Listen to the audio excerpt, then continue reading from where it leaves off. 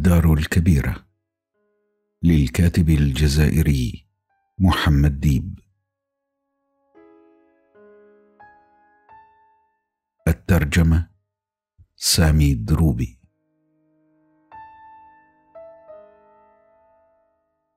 يقرأها عليكم نزار طه حاج أحمد.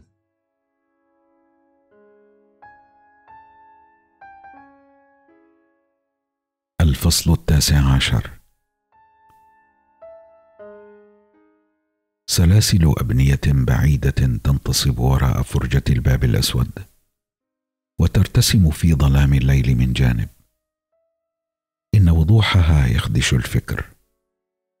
رأى عمر هذا المنظر فاستيقظ في قلبه شعور بشيء نسيه. كالألم الذي يحس المرء أنه ساقط عليه توا فلا بد أن يزدحم به قلبه بعد قليل. دفعة واحدة. غير أن ما ينسى لا يكون ابدا رهيبا إلى هذه الدرجة. لا يكون كتلك اللعنات التي صبتها النساء على رأسه في ذلك المساء. وفجأة تراءى لعمر كل ما في حياته من قسوة. لقد قضي عليه أن يحتمل هذه القسوة إلى الأبد. في الخارج ليلة من ليالي آب. الأضواء تغمر قبة السماء من غير حرارة. ونظرة عمر إلى الغرفة الساطعه المظلمة التي يرقد فيها. إن عتبتها غارقة في ضوء القمر الذي تصل أشعته إلى أرجل النائمين وتأخذ تلمسها على مهل.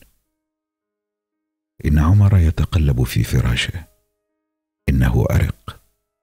ثيابه تزعجه. إن الاكال يستبد بسكان الغرفة جميعا في الليل. فإذا الأظافر تتنقل بالحك على البطن والإليتين والفخذين مدة طويلة. إن البق يخرج من مخابئه ويتسلل إلى الفراش وما عليه. متى خيم الظلام. لقد رشت الجدران بالكلس. ولكن البق لا يزال يدهم النائمين. كانت عيني تشعل المصباح عدة مرات أثناء الليل. فتسحق من هذا البق ما يتيسر لها سحقه. إن خطوطا سمراء ترى على الجدران عند الصباح من أثر سحق البق باليد أثناء الليل. عبث. حتى بدون بق يشعر النائمون بأكال. لقد نام عمر بقميصه ولباسه. حتى لا يضطر إلى التعري على مرأ من أختيه. وكان غطاؤه من جلد قديم. فلما سادت الظلمه رمى عنه الغطاء وخلع ثيابه ورقد على البلاط عاريا كل العري. إنه يحس بطراوه خلال لحظات. وكانت أمه في ذات ليلة من الليالي قد أوصت أولادها أن يرش كل منهم فراشه بقليل من الماء. فما كان من عمر ليلة إذن إلا أن أحال فراشه إلى بركة من الماء.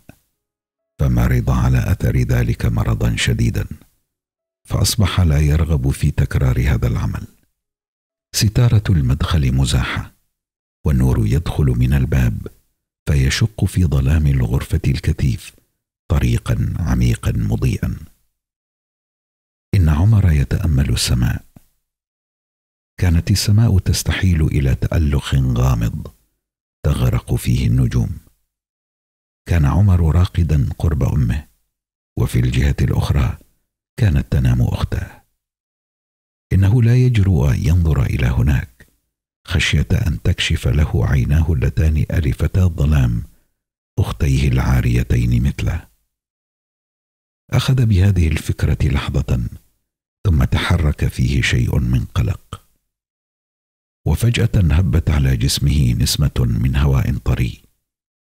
إنه يسمع التنفس العميق المطرد يتردد من حوله. وباغت نفسه يعد النجوم. فكلما خططت إحداها السماء أحس ذلك إبرة في قلبه. أغمض عينيه حتى لا تراه النجوم. كان الحر الشديد الذي يصاحبه الجوع دائما يؤرق لياليهم. غير أن الجوع أشد رهبة من الحر إنه ماثل لهم دائما. وكأن هذا الجوع في جسم عمر أشبه بشعلة خفية لا تدرك تولد له نوعا من نشوة. لقد خف لحمه فجأة وأسرف في الخفة وضعف وأسرف في الضعف.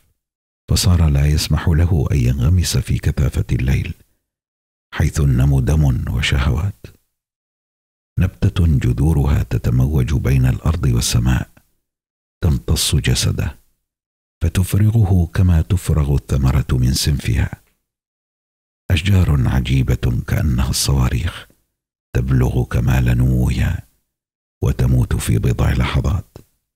ولا يبقى ثمة إلا تلك النار الصغيرة البعيدة التي يحرق رأسها أرحامه بينما هو يهوم ضائعا تائها في أمواج الليل الساكنة. وتكلمت عيني فجأة من تراها تخاطب؟ من ذا الذي يسمعها؟ أهي لا تكلم إلا نفسها؟ إن هذا العمل يهد صدري هدا. أصبحت لا اطيقه لقد خارت قواي وضعفت ساقاي. كل ما أكسبه لا يكفي لشراء ما نحتاج إليه من خبز.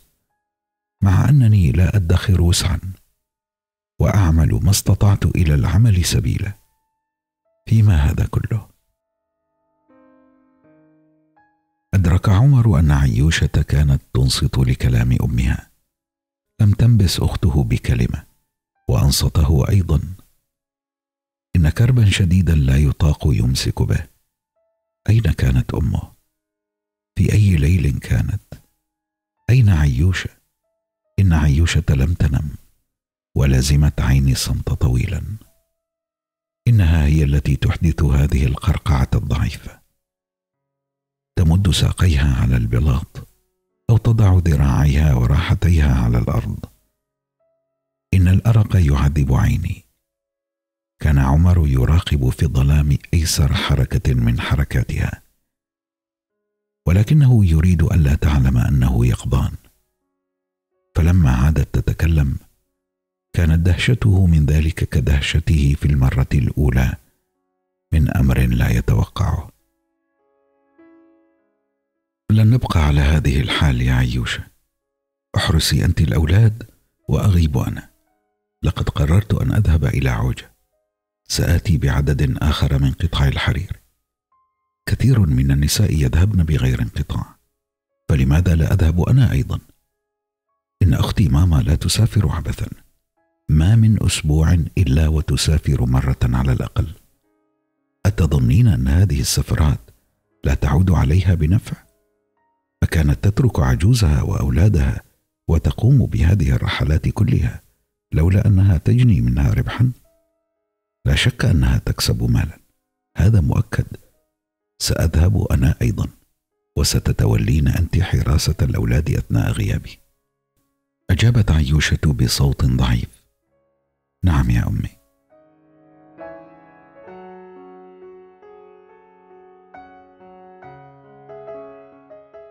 تقع مدينة عوجة على مسافة تسعين كيلومترا في الجهة الثانية من الحدود.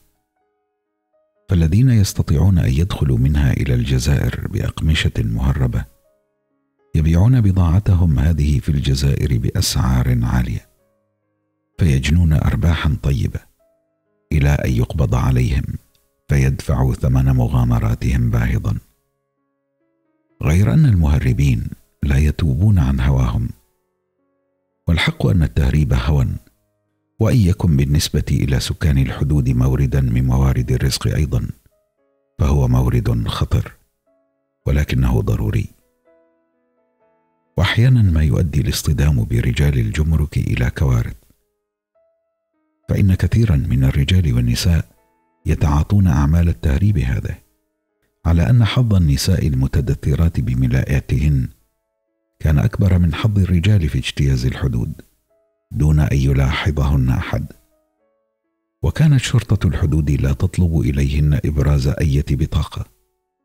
من ذا الذي رأى امرأة من نساء سكان هذه البلاد تنحني أمام إجراء من الإجراءات الرسمية.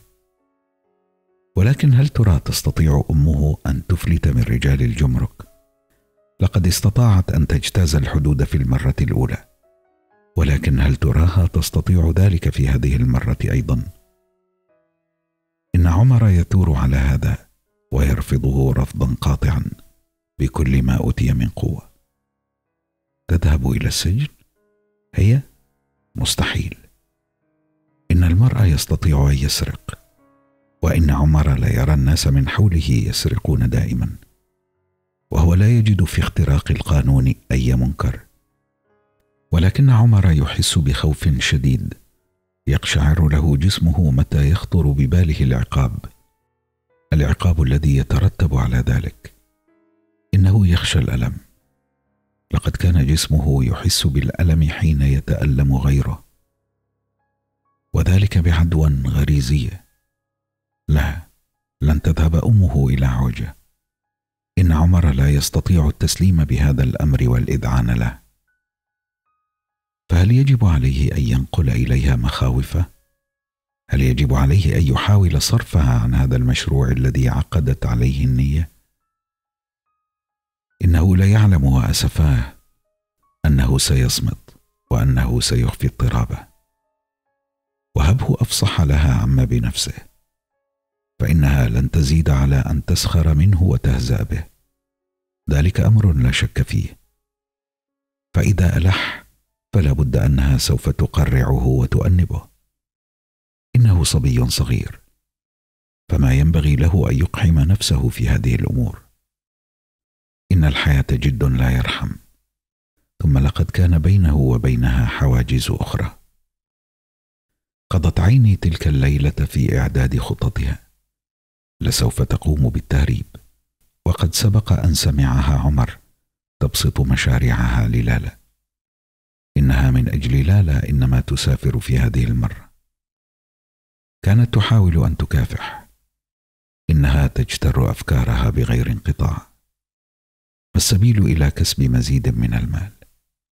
كان عمر لا يستطيع أن يصدق أن أمه يمكن أن تقبل السجن بهذه الخفة من أجل أن تزيد دخل الأسرة. إن المبلغ الذي كانت تتقاضاه اجرا على عملها كان من تفاهته يثير الحنق حقا ولا مخرج من هذا العسر الذي كانوا فيه. إنها تخيط سيقان احذيه القماش منذ بضعة شهور ومع ذلك لم يشبع أفراد الأسرة مرة طوال هذه المدة. وكان عمر يساعد أمه في عملها ولكن ذلك كله لم يجدهم شيئا. وقد فكرت عيني ذات مرة أن تبيع ماكينتها. ولكن الماكينة كانت ملجأهم الوحيد الذي يحميهم من العوز الكامل. فلم تلبث عيني أن غيرت رأيها وعدلت عن بيع الماكينة. ترى لو باعت عيني ماكينتها أكان يكفي ثمنها لإطعام خمسة أفواه أكثر من مدة قصيرة. فما عسى أن يصيروا إليه إذن بعد أن ينفقوا آخر قرش من ثمن الماكينة؟ هذا ما تساءلت عنه عيني. ثم انتهت إلى الحفاظ في كثير من العناية على ماكينتها ماكينتها التي حصلت عليها في أوائل عهدها بالزواج حين كان يجنى الشهد من زهر البيلسان. إن هذه الماكينة تذكرها بالأيام السعيدة القليلة التي عرفتها طوال حياتها الزوجية. لقد بدأت عيني تستغل ماكينتها لإعالة أسرتها منذ خمسة عشر عاما.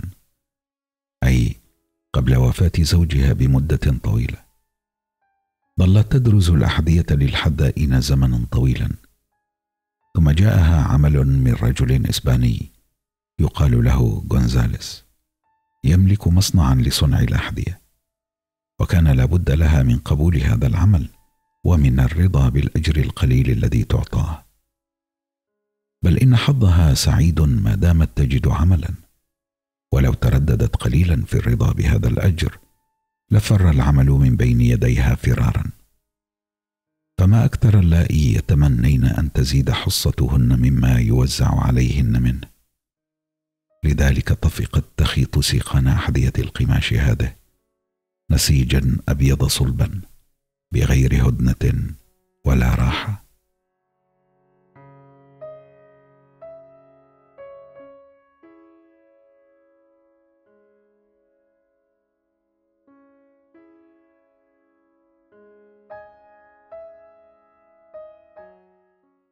الفصل العشرون. لكن عيني كانت قد بدلت عملها عدة مرات. عملت مرة في غزل الصوف أخذت تصنع العراقي ثم راحت تصنع لبادات تلبد باليد. وهي الآن تدرز بماكينتها. كانت لها اذا حرف كثيرة. ولكنها لم تستطع يوما أن تجني من عملها ما يكفي لسد الرمق. والأسرة كلها عالة عليها.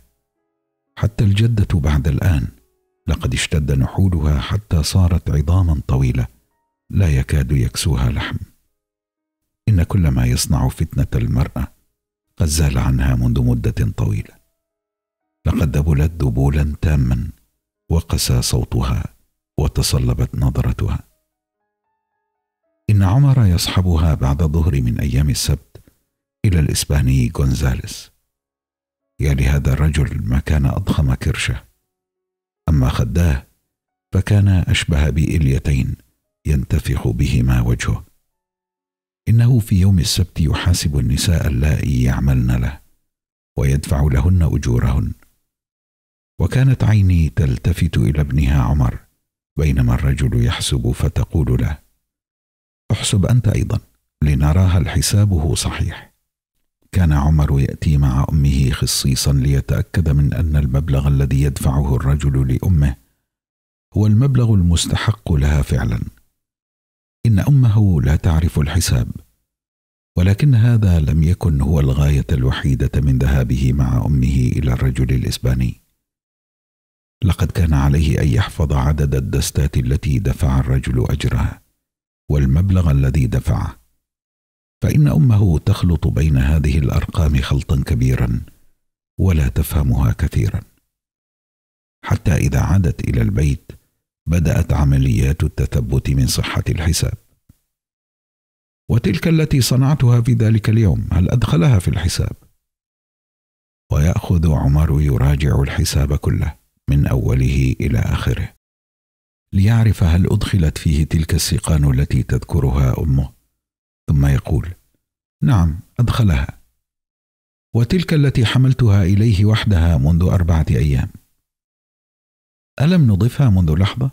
أنت تعرفين أننا أضفناها فهي داخلة في الحساب. أردت أن أعرف هل أنت متأكد من ذلك. متأكد. مصيبة المصائب أن ننسى شيئا مما قدمناه له. نحن حتى بدون هذا النسيان لا نتوصل إلى تدبير أمورنا. وعلى هذه الحال تنقضي ساعات.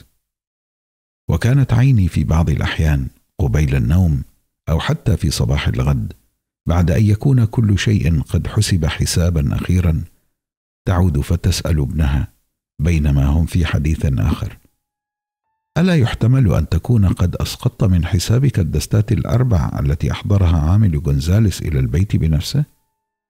هذه الدستات الأربع لم آخذها أنا فلعل الإسباني نسي أن يدخلها في الحساب.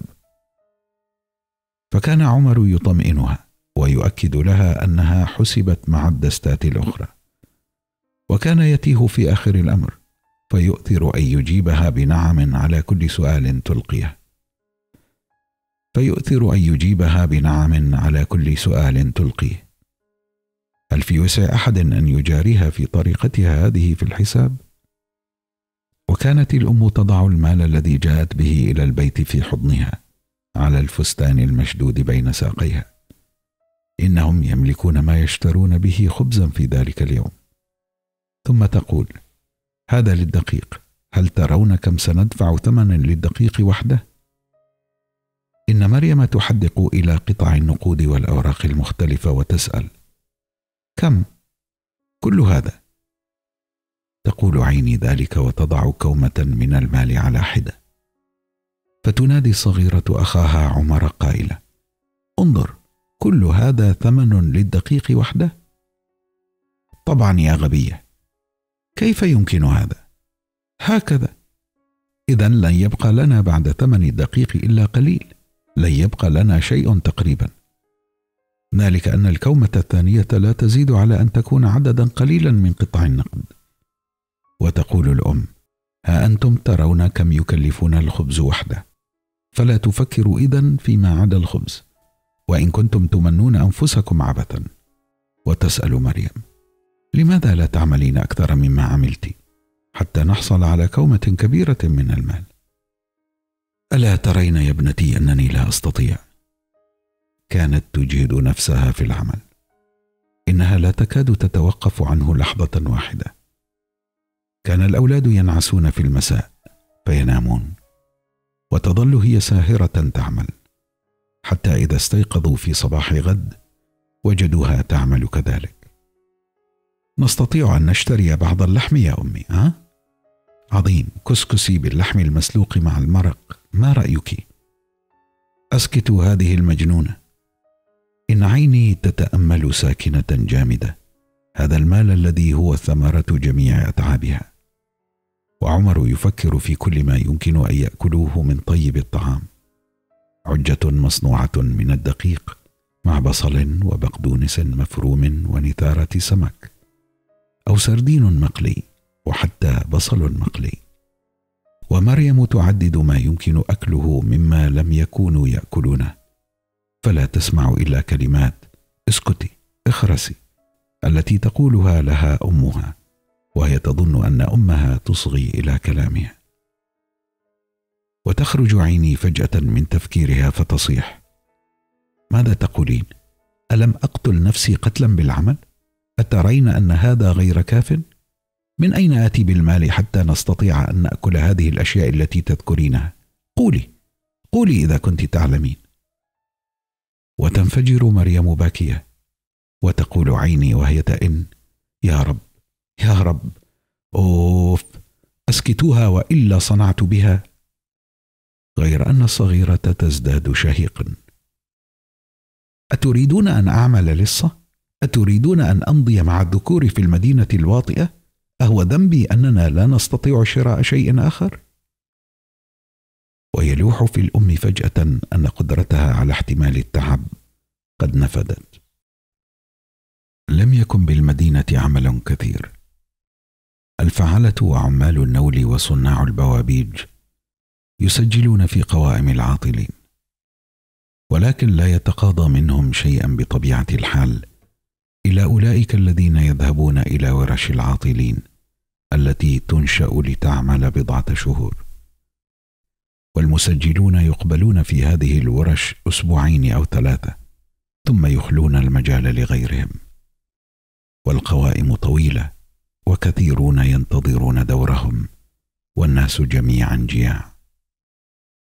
إن عمال النول ينقطعون عن أي عمل خلال الأسابيع الأخيرة من الربيع وخلال الصيف كله أي خلال نصف السنة تقريبا. لا عمل لهم طوال هذه المدة وكذلك صناع البوابيج. ذلك أن هؤلاء جميعا إنما ينتجون لسكان القرى وسكان القرى لا يشترون إلا حين يفرغون من الحصاد.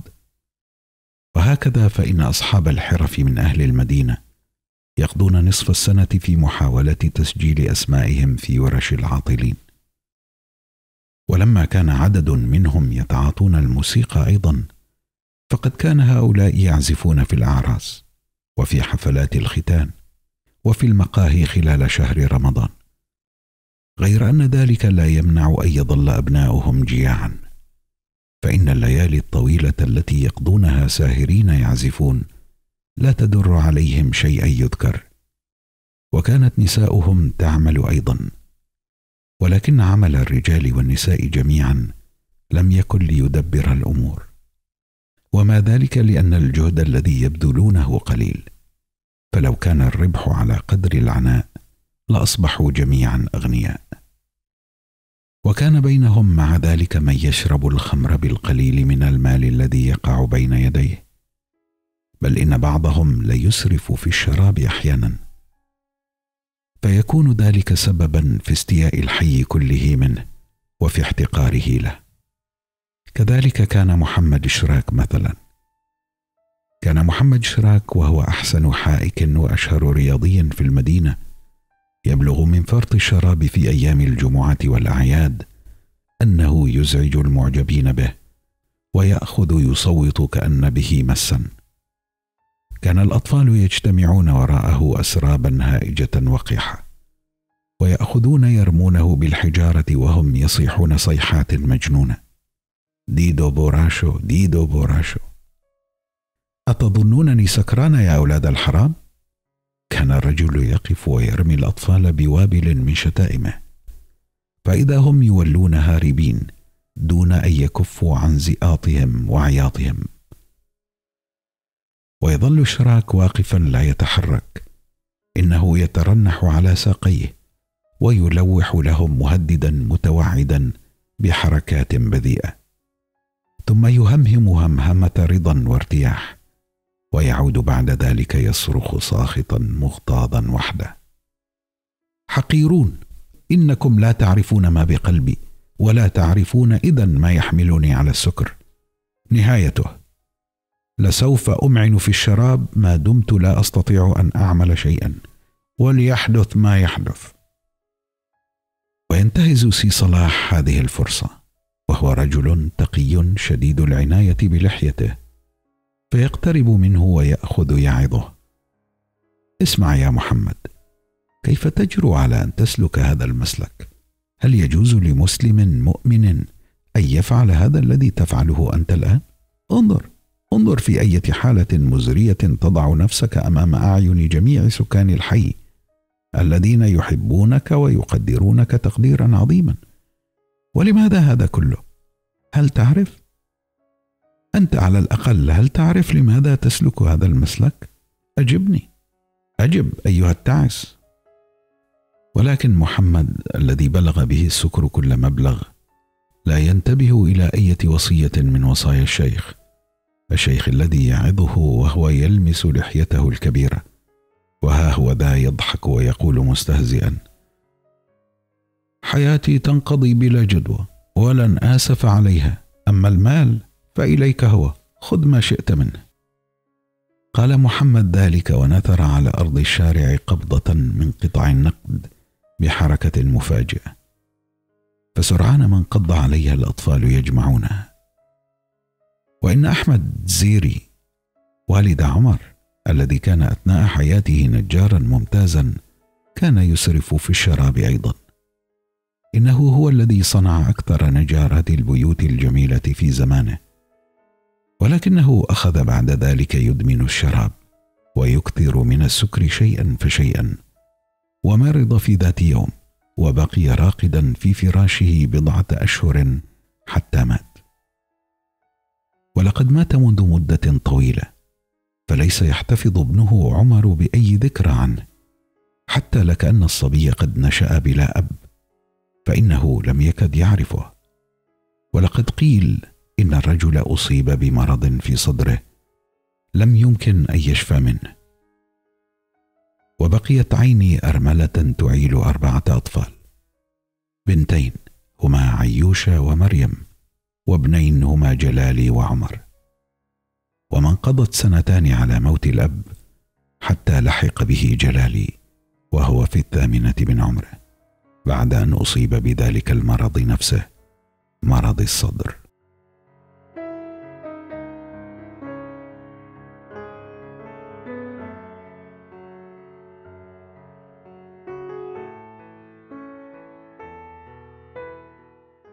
الفصل الحادي والعشرون.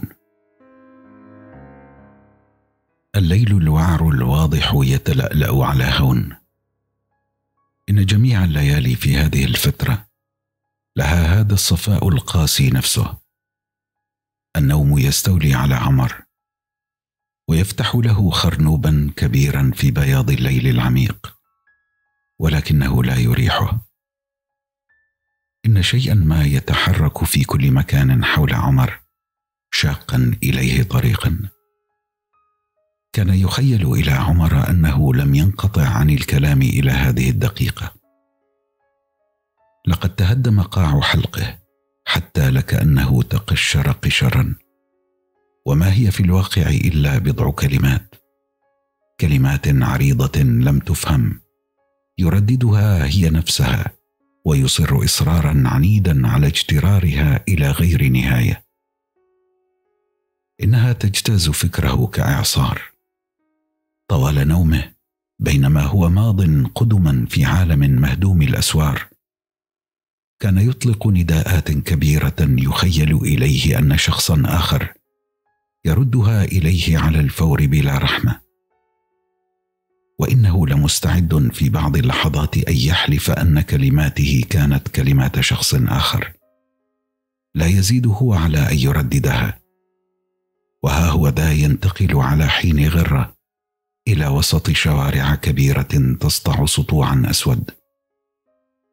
إن رجالا متنقلين متلبدين في زوايا الشوارع يهجمون عليه ويتمسكون بتلابيبه عند كل خطوة يخطوها. وهذه صيحات قريبة ولكنها لا تدرك. تنطلق في الجو. إن فضاوات فارغة تتعاقب ويتلاحق بعضها وراء بعض. واحس عمر أنه قد سلخ من الداخل سلخا كاملا وتفتق. ولم يبق فيه إلا إصرار عنيد عنيف على التمسك بأهداب الحياة. يريد أن يظل حيا رغم المعارك القاتلة التي يخوضها. يريد أن يظل حيا. هذا الذعر كان عمر يراه فهو الآن يتراجع في نفسه. إنه هناك. هذا الذعر جالس على فراشه يطوي قدميه تحته. قال عمر لنفسه هو خوف جدتي ما في ذلك ريب. كان يفهم من بعيد أن جدته خائفة خائفة من عزلتها من وجودها في المطبخ وحيدة مع دائها. كانت لا تكف عن التوسل والتضرع إلى ساعة متأخرة من الليل بينما يكون جميع من في المنزل قد غرقوا في سبات عميق. وكانت تتوقف عن التضرع خلال بضع دقائق. ربما لتعرف هل يستجيب لندائها أحد. أتراها كانت تتوقف أيضا بسبب الخوف. لقد أيقظت نداءاتها عمر من نومه. ما من أحد يجيبها. إن البكم يخنق البيت العتيق خنقا. تخيل عمر الظلمة التي تخيم في كل مكان مستندة إلى باب الغرفة مهددة عدوه. إن هذا الشيء الضخم الذي لا يمكن أن يقول المرء ما اسمه يتربص في الفناء. هذا صوت الجدة يعود إلى الكلام في هدوء من بعيد. إنها تثرثر تخلصا من الكلال. لا ذلك الكلال الجميل كلال الأجسام القوية بل كلال الشيخوخة. إن خواطرها التعيسه تشق لنفسها طريقا في خلال الخوف والمرض والشيخوخة خاصة. الجميع في غرفة عيني نيام.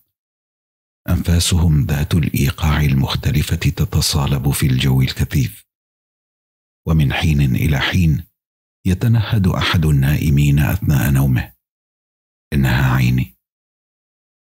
وهذه شكاة تصل من قاع الظلمات إن الجده تنتحب. عيني عيني. إن المرء يحس من هذا الصوت أن العجوز فاقدة قواها. عيني أتدعينني وحدي يا بنيتي؟ ماذا صنعت من ذنب؟ لماذا يا عيني؟ لماذا؟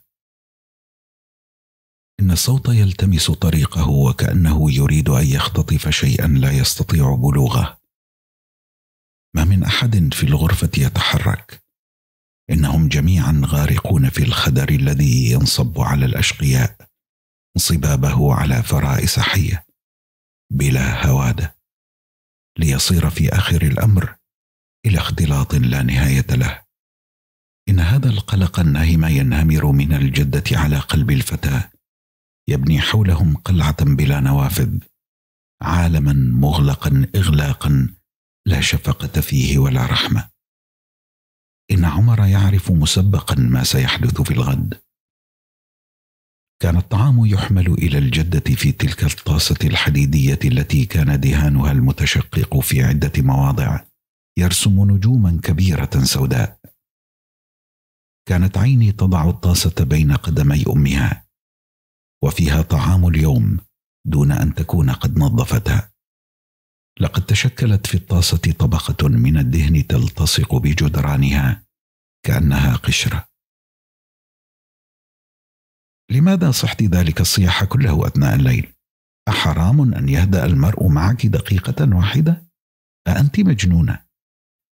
هذا ما كانت تصبه عيني على رأس أمها وكانت الجدة تنتظر أن تبتعد ابنتها عنها. إنها تتقلص على نفسها ما دامت ابنتها أمامها. تخاف أن تنهال عليها اللطمات خوف طفل أو كلب صغير. إنها مطوية طيا كأن ظهرها محطوم وقد وضعت رأسها على ركبتيها وأخذت تطرف بعينيها من ناحية عيني دون أن تنهض رأسها. كان عمر جالسا على الأرض أمام قدميها. أي ألا ترين أنني آتية بطعامك؟ أم أن ما آتيك به لا يرضيك؟ هكذا كانت عيني تصرخ في أذنها كأنه صوت الرعد وهي تدفع إلى أمها بالطاسة.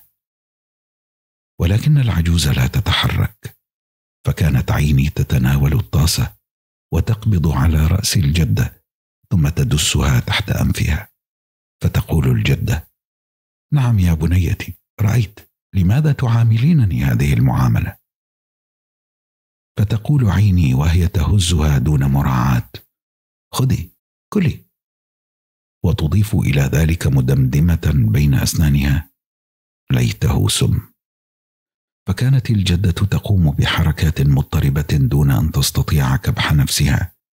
فتتناول الطاسة بيدها التي ترتجف ارتجافا مروعا. وتضعها على الأرض تحت الكرسي.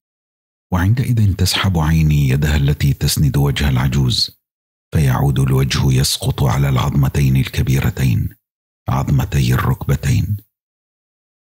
لقد أصبحت العجوز عاجزة من ضعفها عن نصب جذعها. لقد تكسرت. لقد تحطمت تحطما لا برء منه. وتمضي عيني وهي تدمدم. فإذا تأكدت العجوز أن ابنتها مضت حاولت أن تنهض رأسها وأخذت تنظر بعينها الزرقاء إلى عمر. كان لا يخفى على عمر أنها لا تكاد تدرك ما يقع لها. لقد أصبحت من الضعف بحيث لا تعرف كيف تحمي نفسها من عنف عيني. وفي نظرتها الغارقة التائهة كان يرتعش ذلك الشقاء الهائل شقاء بهيمة تجارف على الموت.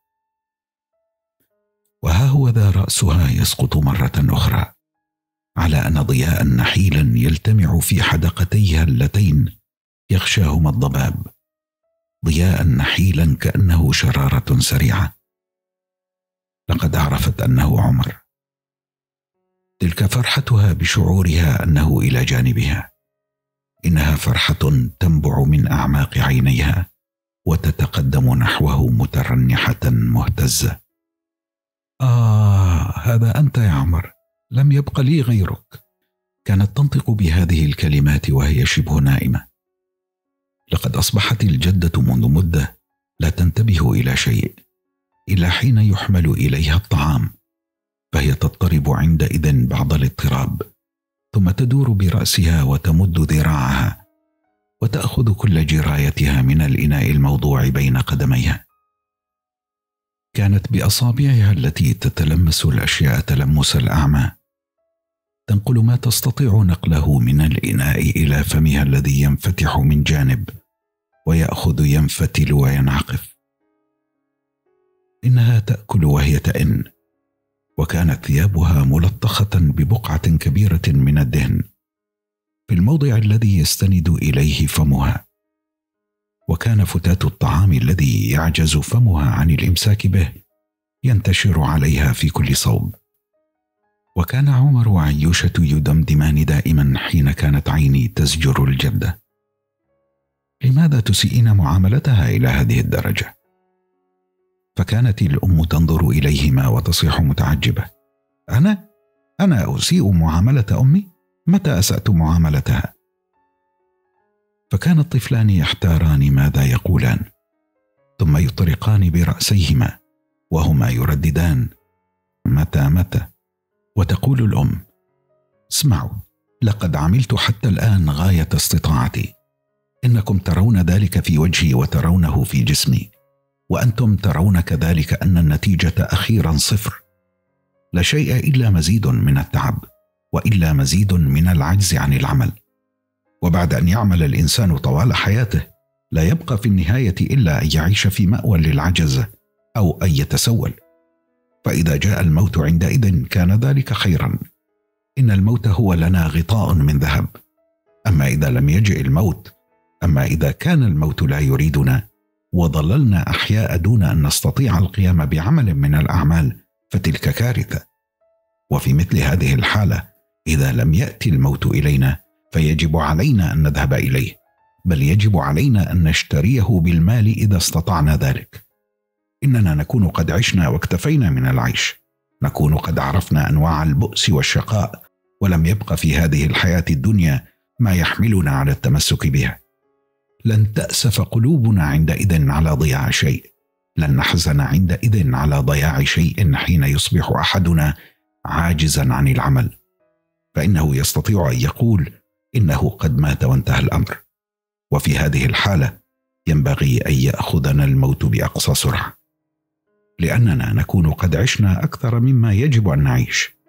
فمتى تم هذا؟ جرت الأمور في مجراها وعادت إلى نصابها.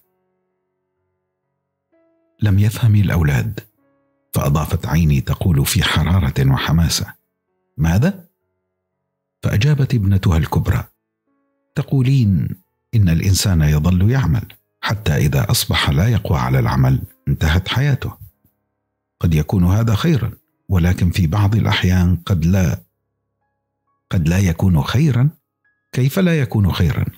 الإنسان الذي أصبح عبئا من الأعباء الذي يأكل على حساب الآخرين الذي يحتاج إلى من يخلع له ثيابه. كيف لا يكون موته خيرا وخاصة حين يكون الآخرون فقراء؟ كان الأطفال ينظرون إلى أمهم جميعا ثم يلتفتون بأبصارهم إلى باب الغرفة إلى ناحية المطبخ. وهمت عيوشة بأن تحرك يدها كأنها تريد أن تمنع أمها من الكلام. ترى ماذا يحدث لو وصل هذا الكلام إلى مسامع الجدة؟ كان الأطفال واثقين من أنه يكفي أن تلفظ هذه الكلمات أمام الجدة حتى تقتلها حتما. والتفتت عيني إلى ناحية المطبخ هي أيضا. قال عمر بينه وبين نفسه متى أصبح إنسان عبئا؟ وكان عمر يساعد جدته في كثير من الأحيان ومعنى ذلك أنه كان يساعدها على أن تعيش. إنه لم يشعر في يوم من الأيام بأنها عبء. رب امرئ يطعم أسرة بكاملها ثم يكون عبئا. هل الطفل عبء؟ إنني لا أستطيع أن أفهم هذه الأمور. وكانت الجدة في بعض الأيام لا تشرع في تناول طعامها بل تترك ذراعها متدلية فوق الطاسة وتنهض رأسها خلال لحظة قصيرة وتنظر حولها هنا وهناك وتهز يديها الحانقتين فوق البلاط العاري وتأخذ تئن مدة طويلة. فكانت عيني تقول لأولادها أتسمعون؟ فيظل الأولاد في الغرفة تاركين جدتهم في وحدة المطبخ. إنها متى احتاجت إلى شيء تدعوني أنا. قالت عيني ذلك ثم أشارت إلى عمر. اذهب إليها وأعرف ماذا تريد ولكن لا تبقى هنالك مدة طويلة. كانت الجدة تمضغ جملا مبهمة غير متميزة. وهي لا تزال تئن إنها تشتكي وتتوجع. وخيل إلى عمر أنها تريد من خلال عباراتها المشوشة أن تذكر أنها مهملة. كانت تقول إن كلابا تأتي إليها أثناء الليل وتظل تحوم حولها. وإنهم لا يصدقون كلامها مع أنه حق. إن هذه الكلاب تنهش ساقيها متى خيم الظلام في البيت. إن هذه الكلاب تنهش ساقيها متى خيم الظلام في البيت. إن عيني التي سبق أن سمعت منها هذه القصة ألف مرة ومرة كانت تجيبها بأن ذلك أضغاث أحلام وكانت تتهمها أحيانا بأنها تكذب. كانت تعتقد أن العجوز تريد بذلك أن تلفت إلى نفسها أنظار السكان وأن تستدر شفقتهم. وكانت تختم كلامها لها بقولها. هذه خيالات مجنونة ولن تقنعي أحدا بصدق خرافاتك هذا. ولكن عمر فاجأ كلبا من الكلاب ذات مساء يصعد نحو الجدة لا شك أن رائحة الطعام الذي في الطاسة هي التي تجذبه إلى هناك. إن الجدة عاجزة عن منافسته على الطعام وعاجزة كذلك عن طرده. وبدأ الحيوان للصبي ضخما ضخامة هائلة في ضوء بقية من شمعة. كانت مثبتة على الأرض تنشر نورا مهتزا داميا. استطاع عمر مع ذلك أن يسيطر على خوفه فنهر الكلب وطرده. ومنذ ذلك الحين أدركوا أن رائحة تفسخ قوية لا يعرف مصدرها. ولكنها تدرك من بعيد لشدة حاسة الشم عند الكلاب هي التي كانت تجتذب الكلاب. ولما أصبحت هذه الرائحة قوية تزكم الأنوف فهموا أنها صادرة عن الجدة نفسها. فقررت عيني أن ترفع عنها الأغطية الأغطية التي تلفع ساقيها وقدميها. كانت ساقا العجوز المجمدتان اللتان لا تتحركان قد انتفختا انتفاخا شديدا وأخذ يخرج منهما نوع من سائل يشبه الماء. وكانت الخرق التي تلفهما لا تبدل فلما نزعت عنهما عيني هذه الخرق رأت مع أولادها دودا كثيرا كأنه النمل يقرقر في اللحم الأبيض الرخو. عالم الليل هذا العالم الصارم الخانق. تنهدم في هذه اللحظة جدرانه. إن النهار يطلع. ونام عمر شيئا فشيئا تهدهده نسمة الجوع الحارة الخفيفة. لقد أدرك في باطن شعوره أن النهار يقترب. فارتاح إلى ذلك وسر عنه. إن جسمه ليسترخي هادئا مطمئنا. هذه لحظة الخلاص. إنه الآن يستسلم للنوم. ليس عليه الآن إلا أن يغوص في النوم. ليس عليه إلا أن ينام. أن ينام. أن ينام.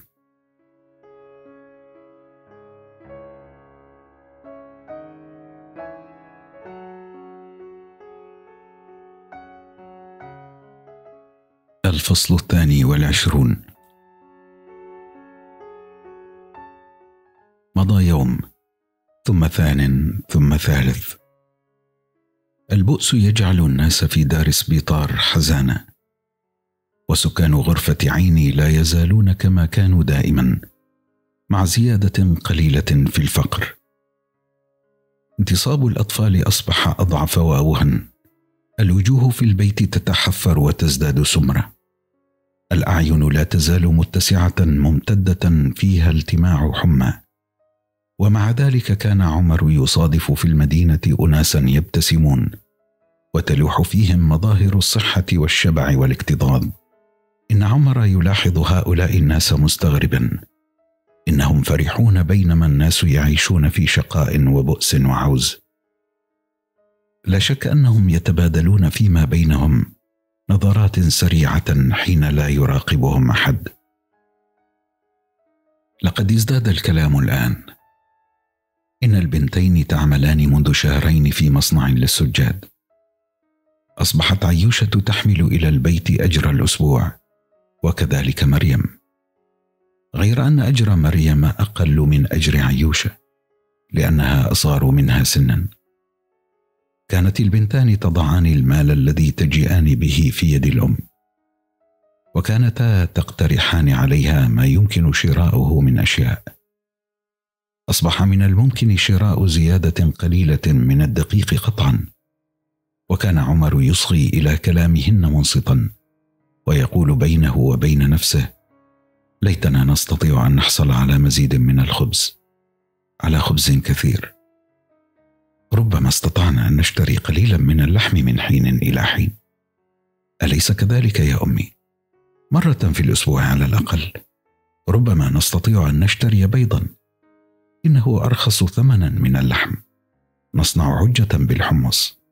والفاصوليا أرخص من البيض أيضا وشيئا من الرز. ما رأيكم أنتم؟ بهذا المال الذي معنا. كانتا تتكلمان دون أن ينضب لكلامهما معين وكانت عيني تصغي إليهما. وتدع لهما أن تتحدثا ما شاء لهما هواهما.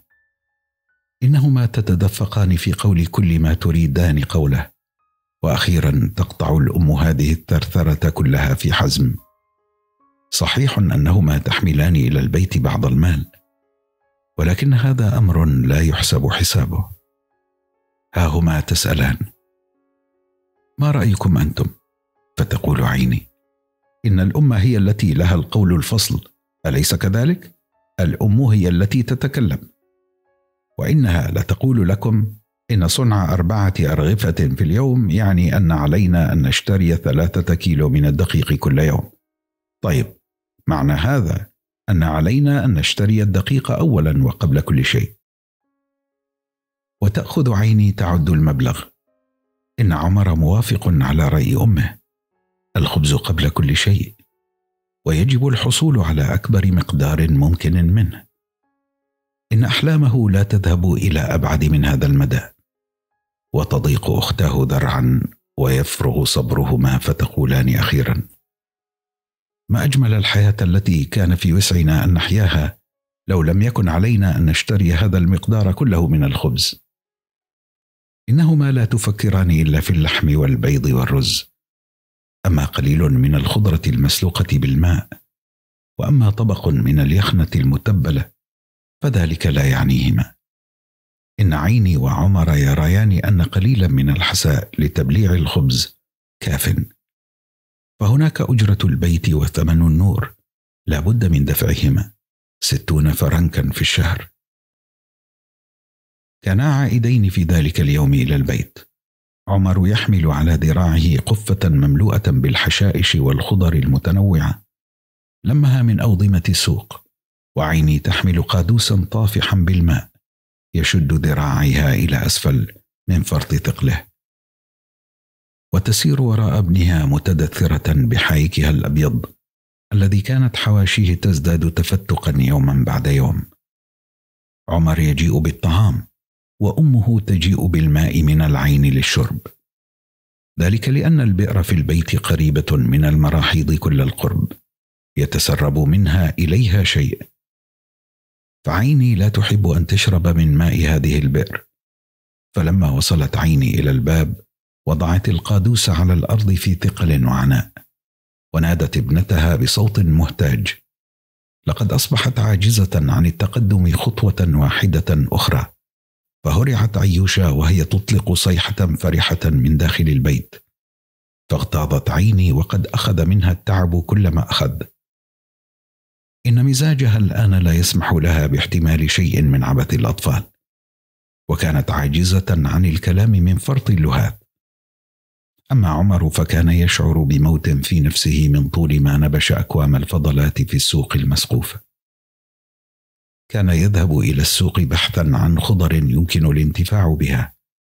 فإذا عثر على شيء منها أخذ يلتقطه ويدسه في قفته وكان يعود من هذه الجولة وقد امتلأ قلبه حقدا وضغينه لقد كان عليه أن يقوم بهذه المهمة كل يوم في الساعة الحادية عشرة عند خروجه من المدرسة. وحين سمع فجأة صوت أخته يرن فرحا اشتعل قلبه غيظا. هو أيضا لم يطق المزاح وكان غضبه ينفجر شتائم.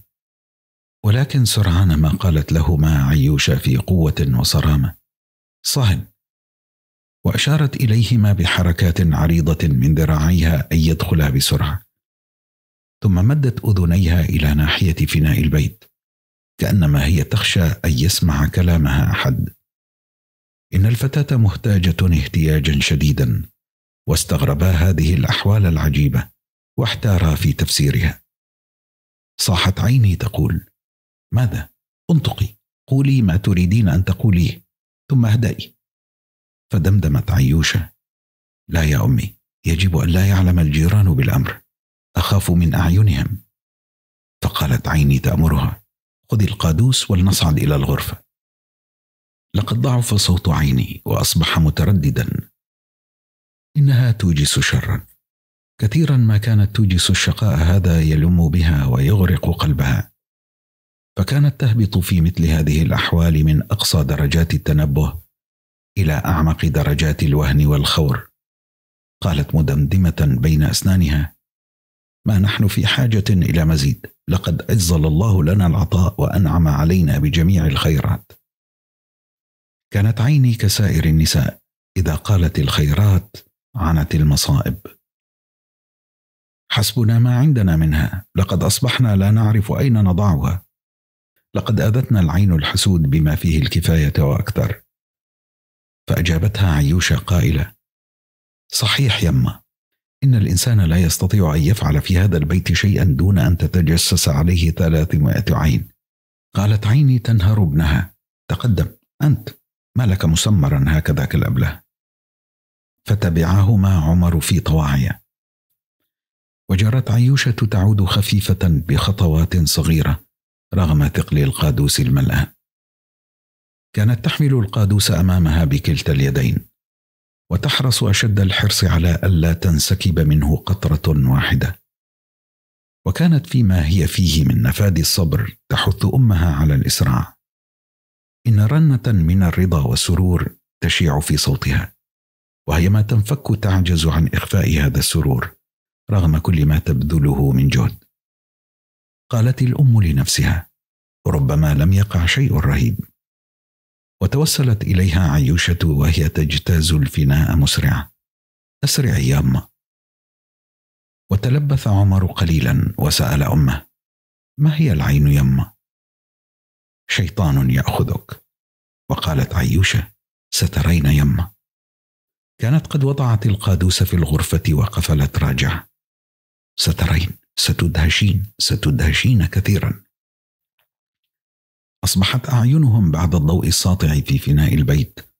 لا تميز شيئا في الظلام الذي يغرق الغرفة. لكأنهم غطسوا الآن في ماء مظلم مريح. إنهم لا يزالون مبهورين من سطوع النور في الخارج. ونادى صوت من داخل. إنها مريم التي تراهم ولا يرونها. يما يما تعالي شوفي. إن تلك النبرة نفسها تشيع في صوتها. نبرة الفرح المكظوم. سألت عيني. ماذا؟ ماذا يوجد؟ ما الذي جرى في بيتي؟ إنني لم أخرج إلا منذ لحظة. إنني لم أغب إلا مدة الذهاب إلى العين والإياب فورا. فما لي أرى كل شيء قد اضطرب وانقلب. أكاد أنكركما ولا أعرفكما. ماذا حدث؟ قولا. قالت ذلك بصوتها الحاد المنكر المعهود. قالت لها بنتها تعالي. تعالي انظري بعينيك. إن عيوشه لا تفكر الآن في كبت فرحها فقالت لها أمها في أي جهة أنت؟ واستمرت مريم تنادي يما يما. لا شك أن شيئا قد وقع. لقد جنت بنتاي. قالت عيني ذلك ثم صرخت. ماذا يوجد؟ هل تنويان أن تتكلما أم لا؟ وعادت الصغيرة مريم تنق يما يما. فقالت الأم غبية بلهاء ما لها تصيح هذا الصياح؟ يما يما. إن الضحك يصعد إلى الصغيرة بلا نهاية وراحت تردد كأنها صدى. يما يما. فجاءت صرخة من الطرف الآخر من الغرفة تقول ماذا؟ ورفع عمر صوته قائلا إنها تطلب إلينا أن نسرع فننظر فلنذهب إليها لنرى ما عندها. اخرس أنت. هكذا قالت له أمه مهددة. كانت عيوشة ترقص. إنها تركض من أول الغرفة إلى آخرها ملوحة بيديها. منادية أمها بعبارات رقيقة. ثم دارت حول نفسها على قدم واحدة وظلت ترقص. فلما ألفت أعينهم عتمة الغرفة رأوا مريم جالسة قرب سلة من الخيزران في مثل حجمها. وقد أدخلت ذراعها في عروة السلة كما يمسك المرء بذراع صديق. إن هذه السلة ذات الكرش الضخم تبدو مترعه لم تر عيني في حياتها سلالا كهذه السلة. من أين تراها جاءت؟ من أتى بها؟ وما الذي فيها؟ انفجرت عيوشة تقول وهي تترجرج. بطاطس بطاطس يما بطاطس. وتحولت كلماتها إلى غناء لا ينفك يتسع حتى لكانه غناء مجنون. ونظر بعضهم إلى بعض مستطلعين وأخذت الأجوبة تتوالى. بطاطس وفي السلة أيضا خرشوف وكذلك فول وطماطم كل هذا. وفيها لحم يمه لحم لحم انظري يمه سره كبيرة. ألحم أيضا؟ البنتان تدوران وهما تغنيان وتتجولان في الغرفة ذهابا وإيابا. بطاطس خرشوف لحم لقد ذهبت السعادة بعقليهما. وكانت الأم وحدها محافظة على هدوئها بل كانت تبدو طائشة اللب من فرط الدهشة. إن الأولاد لا يعنيهم المصدر الذي جاء منه هذا الخير كله. بطبيعة الحال حسبهم أن هذه الأشياء كلها قد أصبحت في بيتهم فهي لهم. أما عيني فقد ظلت خرساء لا تنطق بحرف لعلها كانت تتساءل من أين هبط عليهم كل هذا. ولاحظت بنتها أنها ساهمة تفكر ولكنهما لم تتعبا من الصراخ والغناء والرقص حتى لقد أخذتا تتدحرجان على الأرض وأخيرا هدأتا. فجذبت الأم بنتها الكبرى وأجلستها أمامها.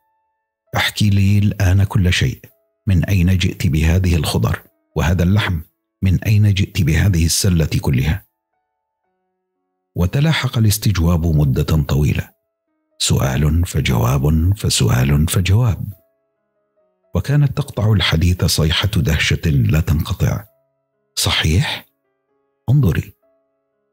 وما كان أكثر صرخات السرور التي تشتمل على شيء من الشعور بالخجل ازاء هديه تبلغ هذا المبلغ من الروعة والكرم. وطفقت عيني نفسها تطرف بعينيها وتحرك يديها كما تفعل ابنتها. وكانت من حين إلى حين تطلق صيحات تعبر عن الريبة. إن الأم والبنت تتبادلان هذا الصوت. الأم تقول ها هي. فتقول البنت ها هي. وسألت الأم ابنتها هكذا؟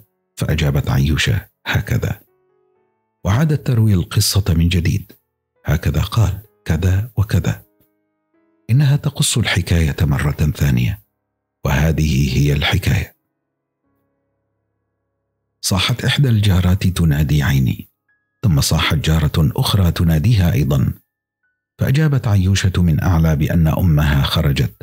وسألت من أجل ماذا؟ فقالت المرأتان أحد بالباب يسأل عنكم تحت ألم تسمعيه؟ إنه ينادي منذ ربع ساعة. لا شك أن حلقه أصبح يؤلمه من فرط ما ندى هو رجل. ولم تكن المرأتان تريان عيوشة. قالت عيوشة لم أسمع شيئا كنت مشغولة. لا يستطيع المرء أن يسمع من هنا أحدا. سأرى.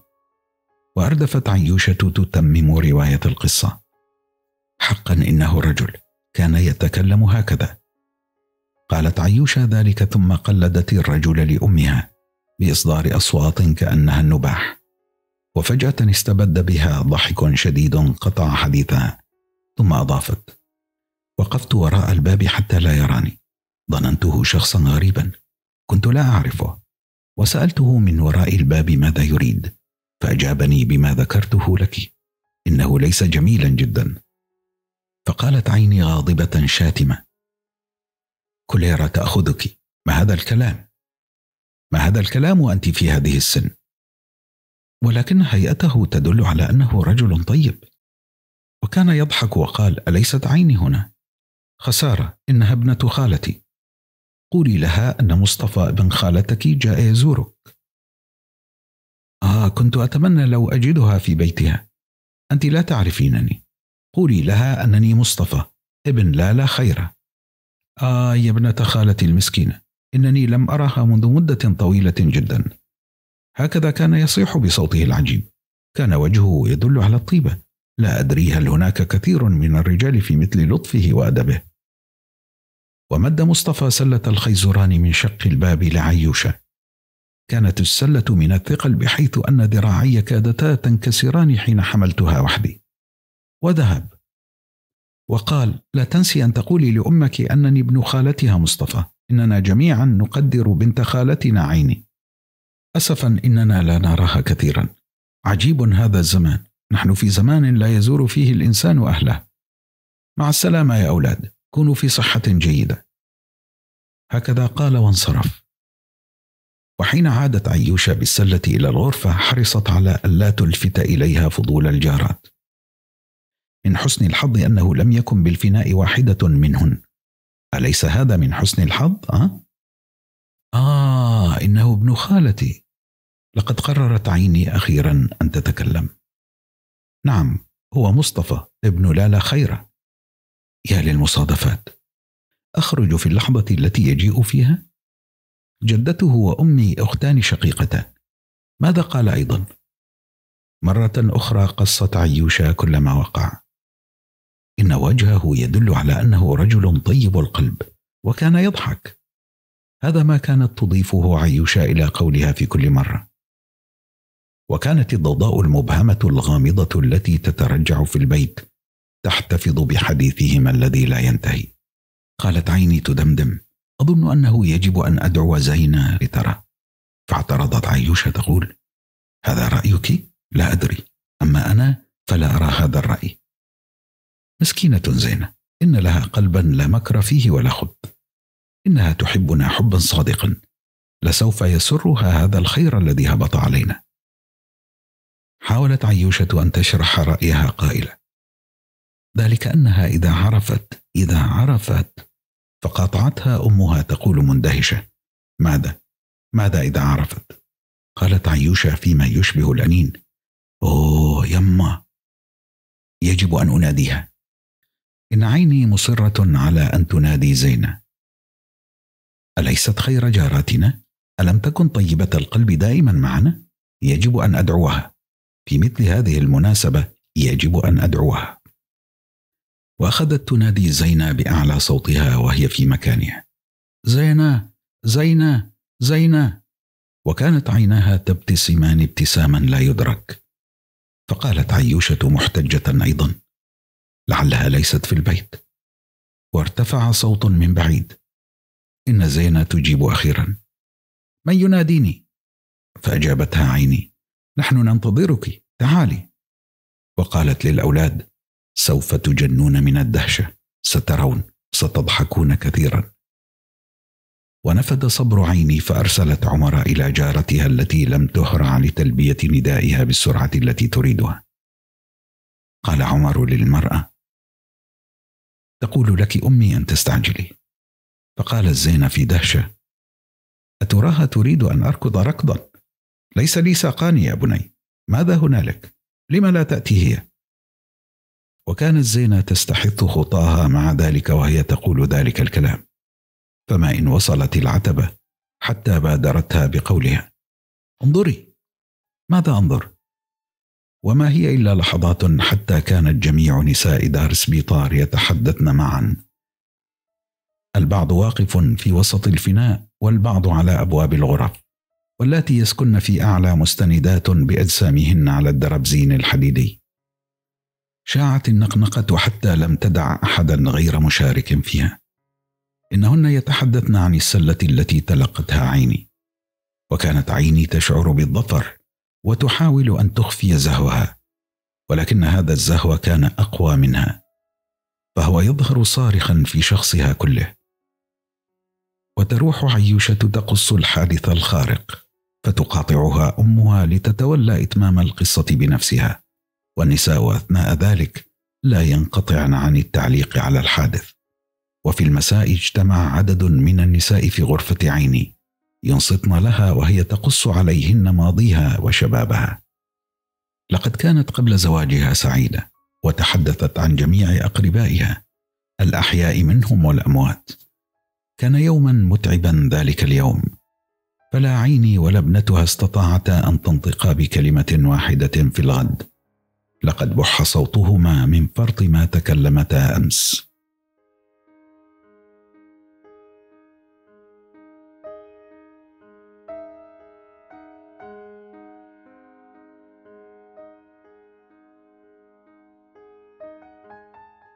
الفصل الثالث والعشرون. حدث شيء من تبدل. أصبحت عيني في الأيام التي تلت ذلك اليوم تجلس إلى الجدة مدة أطول. المرأتان لا تتشاجران الآن. كفت الجدة عن شكواها المتعبة. إن عيني لطيفة. إنها ألطف النساء طرا. لقد دهش أولادها. ولكن هل لطفها هذا شيء جديد حقا؟ لقد سبق أن رأوا المرأتين على وفاق. كانت عيني حين تعانق أمها. تبدو هي الأم الطيبة القلب الرقيقة العاطفة. فلماذا يعجبون الآن إذن؟ لماذا يبدو لهم لطفها شيئا جديدا؟ كان عمر يفكر في الجدة وكان يفكر في أمه. ويفكر في الكلام الذي قالته عن الجدة كيف كانت. لقد عرفهم ذلك الكلام بأمور كثيرة عن الجدة. لقد لقيت هي أيضا كثيرا من العذاب. كانت تقول عيني ما أكثر ما قاست. أما ابنها فهو ابن عاق لطالما ركضت في سبيله ركض طفلة صغيرة. كانت تقضي اياما كاملة في السوق. تشتري لزوجة ابنها ما تأمرها بشرائه وكانت لا تجد بأسا في ذلك حتى إذا جاءت تأكل أخذ هو وامرأته يتشاجران. إنهما يحاسبانها على ما اشترته قرشا قرشا فإذا لم يتوصلوا إلى ضبط الحساب أخذ الابن يصرخ وأخذت امرأته تتظاهر بأنها تريد تهدئته. وما ذلك منها في حقيقة الأمر إلا صب للزيت على النار. إنها أفعى. أفعى أقول لكم. وتبتعد العجوز المسكينة عن المائدة وينهضان هما عن الطعام. وامي المسكينة لا تجرؤ أن تعود لتأكل وحدها. إنها تنتظر طويلا. ولكن احدا منهما لا يعود. كانت تنهض دون أن تأكل. وكان ابنها يذهب إلى عمله دون أن يأكل. وكانت امرأته تبقى بلا طعام. حتى إذا خرجت حماتها سخنت الطعام وطفقت تزدرده وحدها. هكذا كانت حياة أمي. وها أنتم اولئك ترون الحالة التي آلت إليها الآن. لماذا؟ كانوا متحلقين جميعا حول الجدة ومعهم ابنة العم الصغيرة. وبينما كانت ابنتها تقول ذلك الكلام كانت الجدة قد دفنت رأسها بين ركبتيها. وفيما كانوا جميعا يفكرون في هذا المصير الذي كتب على الجدة. قالت ابنة العم الصغيرة حين يصبحون عاجزين عن الحياة فإنهم يحسون ذلك يفهمون حالا. لماذا كانت بنت العم تقول هذا الكلام؟ بينما هم جميعا يغبطون أنفسهم على طول عمر الجدة التي كانت تقاوم الأنواء وتصمد لمد الحياة وجزرها إنهم يترددون ومن الصعب أن نعرف ما يدور بأنفسهم ولكن الأمر يقع هكذا إنهم يفهمون. ما الذي كان يجبر بنت العم الصغيرة على أن تقول هذا الكلام؟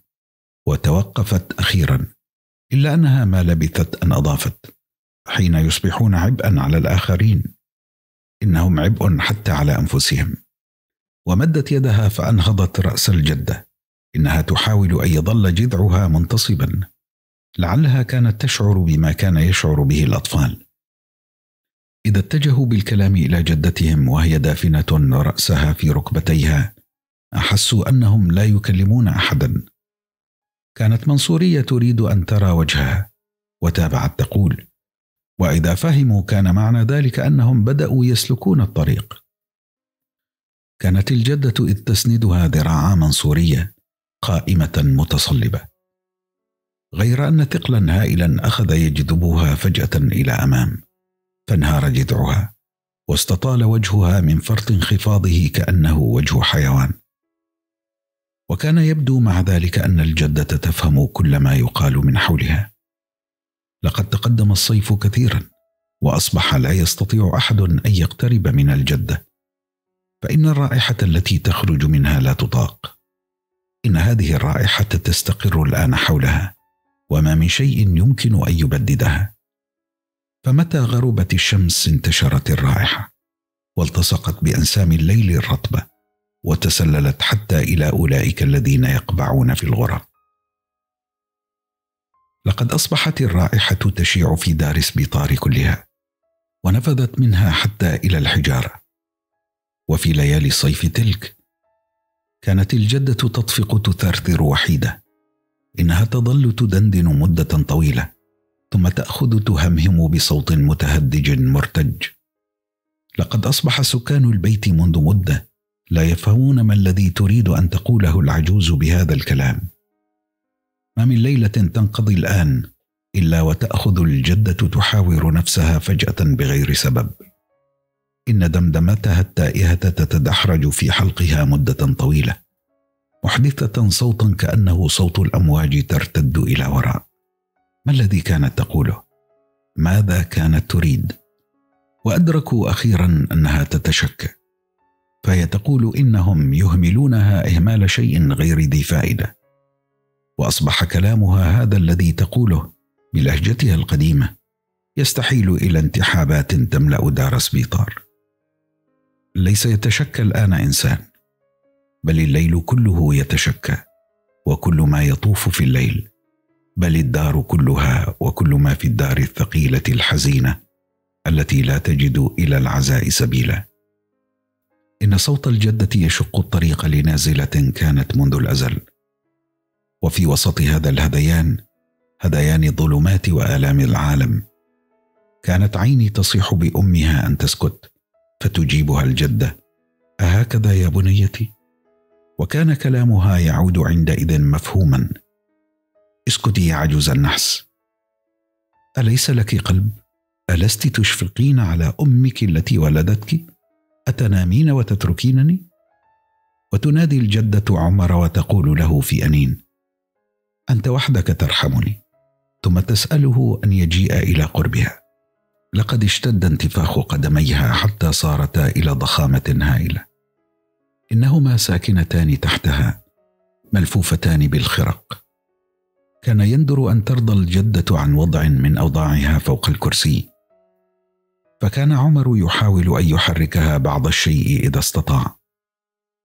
يمسك بها من إبطيها وينهضها قليلا. ولكن الجدة ثقيلة ثقلا فظيعا. إن عمر لا يستطيع وحده أن يفعل لها شيئا. إنه لا يكاد يزيد على تحريكها قليلا. وفي مثل تلك الساعة من الليل كان يستحيل على عمر أن يواجه الظلام الحالك ليصل إليها. أصبحت الجدة منذ مدة تتكلم كثيرا. ولاحظوا أنها في صراع خفي مع قوة كبيرة. دهشت الأسرة كثيرا. كانت المرأة العجوز رغم ما هي عليه من ضعف جسمي هائل. تدخر هذه القوة الخرساء الصماء التي تهاجمها. لا شك أن قوة أخرى قوة لا يعرف كنهها كانت تساندها في معركة هذا. وانتهى الصراع أخيرا دون أن يتوقع ذلك أحد. عادت الجدة نحو عالم الأحياء تاركة الضفاف الغارقة في الضباب التي همت بأن تسقط عنها. عادت هادئة راضيه البال مطمئنة. ونظرت إلى جميع الذين حولها فعرفتهم ولم تنكر منهم أحدا. إن ألقا يشع منها إنه نوع من الفرح. إن ابنة العم الصغيرة امرأة قزمة دلفت إلى الشيخوخه هي أيضا. إن شعرها الأجعد يبيض وهي مبتسمة دائما. حقا إن وجهها يشبه وجه امرأة من الزنوج لونها أصفر أو قل إنه شاحب قشب وهي تمت إلى الأسرة بقربا بعيدة ولعلها لا تمت إليها بأية قربه ولكنها كانت تخاطب عيني بقولها يا ابنة العم. مسكينة منصورية لقد كانت تحبهم حبا صادقا ولكنها قذرة قذارة رهيبة. إن ثيابها قد بلغت من سواد الوساخة أنها تخيف حقا. كانت تحبهم على كل حال. إنها لا تذهب إلى الحمام كثيرا. ثم إن حالها لا تتبدل كثيرا حين تخرج من الحمام. بل تظل سوداء. لأنها لا تغير الأسمال الوضره التي على ظهرها. وقد وصلت في هذا الصباح إلى بيت عيني وأخذت تبتسم. هكذا كانت تعيش منصورية. تذهب إلى هؤلاء ثم تذهب إلى أولئك. هؤلاء يعطونها كسرى وأولئك يعطونها أشياء قديمة. إن وجودها لا يكلف احدا كبير نفقة. وفي ذلك اليوم كان في بيت عيني طعام. قبضة من الأرز قد حافظت عليها عيني محافظتها على بؤبؤ عينها. أخرجتها اليوم من مخبئها. لأن المناسبة تستحق ذلك. قالت لأولادها ما دامت ابنة العم الصغيرة هنا فالأفضل أن نأكل هذا الأرز اليوم. يسر المرء أن يعثر على أشياء خبأها ثم نسيها. لا داعي إلى إخفاء هذا الأرز مدة أطول. وكان هنالك خضر. كان قد بقي شيء من الخضر التي جاء بها ابن الخالة مصطفى منذ ثلاثة أيام. ولكن هل تصدقون أن ابنة العم الصغيرة أرادت أن تتركهم حين علمت أن عندهم طعاما؟ قالت عيني ابدا ليست هذه القبضة من الأرز شيء ولكن ستبقين على كل حال. لقد أدركوا جميعا عيني وأولادها أن ابنة العم لا تحرص الآن على الذهاب إلا لأنها عرفت أن عندهم طعاما. كأنها لم تأتي إلا لتأكل ثم تمضي. مسكينة ابنة العم الصغيره إنها تبتسم لكل واحد منهم ولا تحفل بما يقولونه لها. وكأن مائدة ملكية تنتظرهم جميعا. كان واضحا أنها ستذهب ولكنها ظلت جالسة متربعة منتصبة الجذع. إن الأولاد يتأملونها. كانت تضحك وهي تنظر تارة إلى عيني وتارة إلى الأطفال. ثم تعود فتنظر إلى عيني. إنها تنظر إليهم جميعا وتضحك لهم ضحكتها تلك الصغيرة التي تخرج من طرف الشفتين. وتتصلب مزيدا من التصلب وهي تنتصب بجذعها. ومن حين إلى حين كانت تقول آه يا بنت عمي. ثم تضيف كم أحبكم جميعا يا بنت عمي أنت وأولادك. يشهد الله أنني أحبكم كثيرا. وكانت منذ وصولها قد ذهبت إلى الجدة تراها وترتبها. لقد شدتها من ذراعها لتقف فاستراحت عليها الجدة بضع ثوان ثم أعادتها منصورية إلى كرسيها المثقوب ونظفت لها وجهها وصففت شعرها. كانت الجدة تسميها بابنة العم كما يسميها الأولاد. وكانت لا تكل من ترديد قولها إن منصورية تعنى بها. الله يحفظك برعايته يا بنت العم. الله يحميك بعنايته. قالت منصورية لا شك أن حياتنا طالت كثيرا. هل تعرفين ماذا يقول الناس؟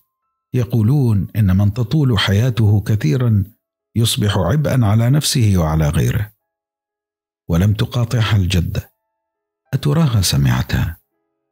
وعادت منصورية تقول كان المرء وقد ألف أن يعيش لا يحب أن يهجر ما الفه وصمتت. ثم رددت بصوت مختلف كل الاختلاف. صحيح الإنسان يألف أن يعيش. وهزت رأسها. إنها الآن وحدها إلى جانب الجدة في المطبخ. ما فكرت في هذا الأمر من قبل؟ ما فكرت في هذا الأمر من قبل؟ وأرادت منصورية أن تعتذر فزادت من انتصاب جذعها. واستأنفت تقول للجدة وهي تميل على أذنها آمل مع ذلك ألا تؤاخذيني.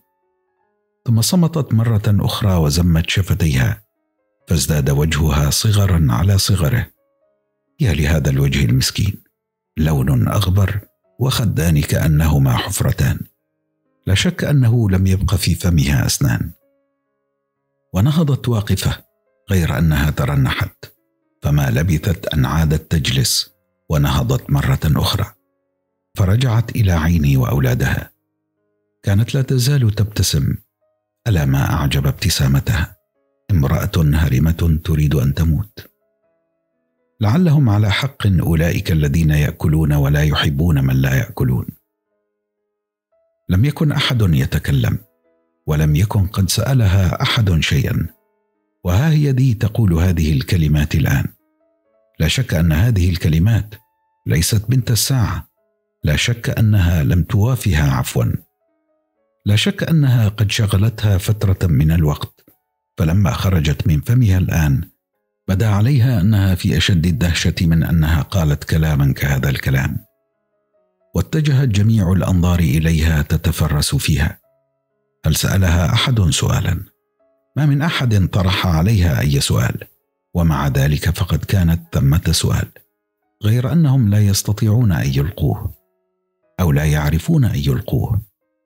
إن السؤال قائم إن رؤوسهم تحمله وتجره ولم يدركوا السؤال لم يتعرفوه إلا حين تكلمت بنت العم الصغيرة على هذا النحو. إنهم يخافون من الجياع. لأن الجوع يبعث في الذهن افكارا ليست كأفكار جميع الناس. فيقولون لا يعرف إلا الشيطان من أين جاءتهم هذه الأفكار الغريبة. أليس صحيحا هذا؟ أقول لنفسي أحيانا قد يتعود الإنسان أن يحيا وقد يألف ذلك ويميل إليه. والحق إن الحياة سيئة جدا. وشيئا فشيئا أقول لنفسي لماذا لا يكون لنا نحن أيضا نصيبنا من السعادة؟ والطعام هو سعادتنا. ألا يمكن أن نحصل على الطعام فحسب؟ لعل في ذلك سعادتنا. فإن لم تكن هذه هي السعادة فعلى ما لا يكون في ميسورنا أن نأكل قليلا. وحين أقول نحن لا أقصد المجتمعين الآن هنا بل أقصدهم وأقصد غيرهم من الناس. خواطر أليس كذلك يا أولاد؟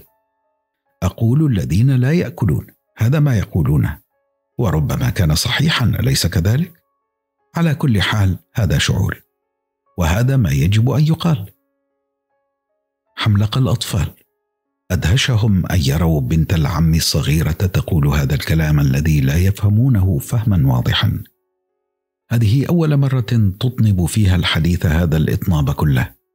لقد أذهلهم كلامها اذهالا شديدا. أما هي فقد خفضت رأسها كأنها خجلة مما قالت. لابد من الاعتراف بأن شيئا جديدا قد وقع. لابد من الاعتراف بأن الأمور قد تبدلت. أمنصورية تتحدث على هذا النحو. لقد تغير العالم اذا من من يعرف ما الذي تبدل؟ ود عمر لو يفهم.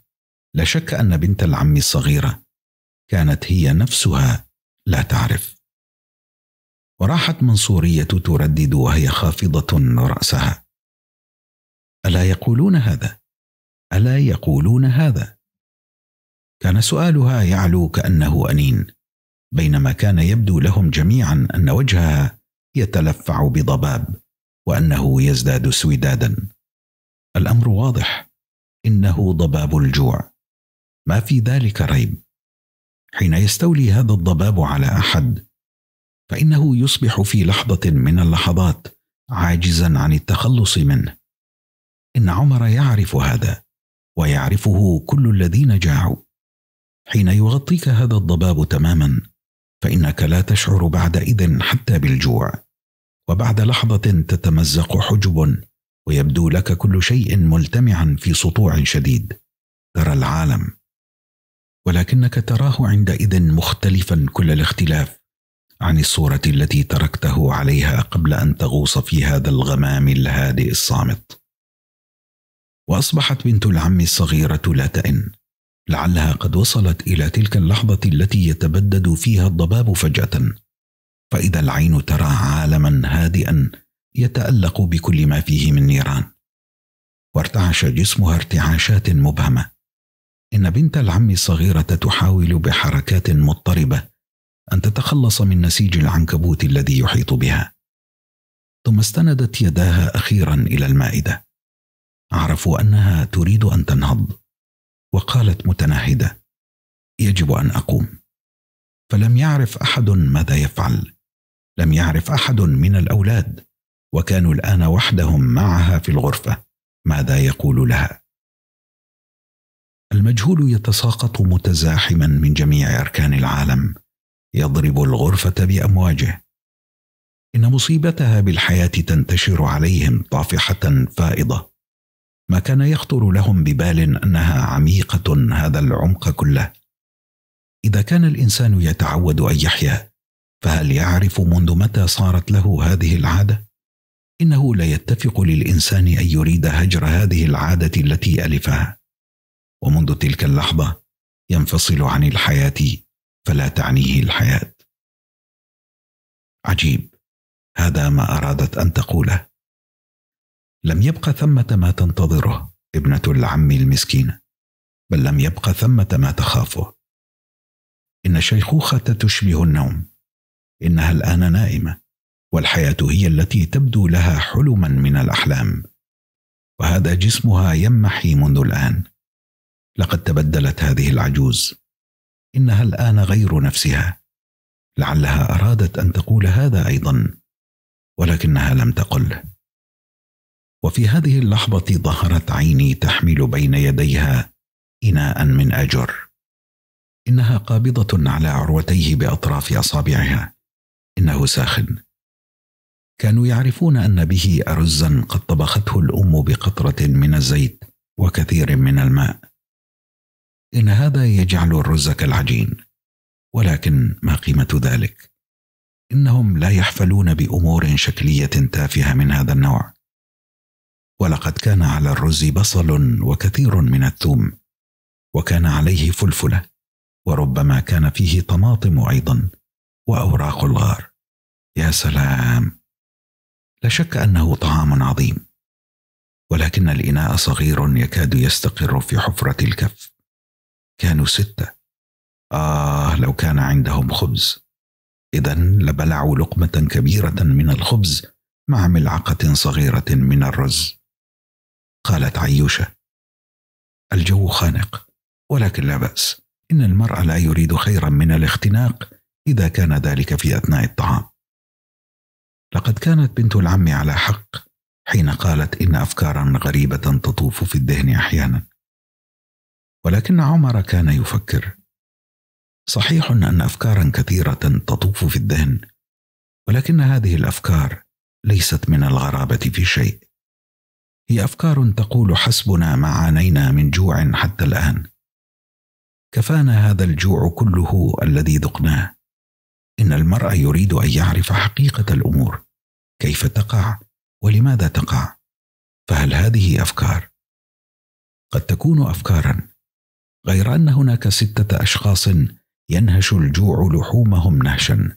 عدا الآخرين الذين يعدون بالآلاف والآلاف في خارج هذه الغرفة في المدينة وفي طول البلاد وعرضها.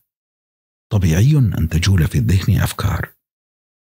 ليس بالأمر المعقد أن يكون هناك ستة أشخاص جياع. الجوع شيء بسيط. هو الجوع لا أكثر ولا أقل. إذا كان يريد أن يعرف ما هذا الجوع ولماذا هذا الجوع. الأمر بسيط في الواقع. كان يريد أن يعرف لماذا يأكل أناس ولا يأكل أناس آخرون. لقد شعرت عيني بلحظة من التردد والحيرة حين عادت من المطبخ حاملة طبق الرز. فرأت بنت العم الصغيرة واتجهت عيني إلى المائدة التي كانت قد وضعت في الغرفة بين جمارة الأطفال. إن لجميع الفقراء حواس مرهفة. كانت بنت العم الصغيرة تبذل جهودا من أجل أن تنهض. وحين صارت واقفة على قدميها وهي تترنح قليلا مدت وجهها جهة الصغار.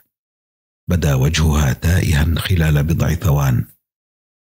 ثم بضع خطوات وهي تهتز وتتأرجح. كانت تقترب من الباب.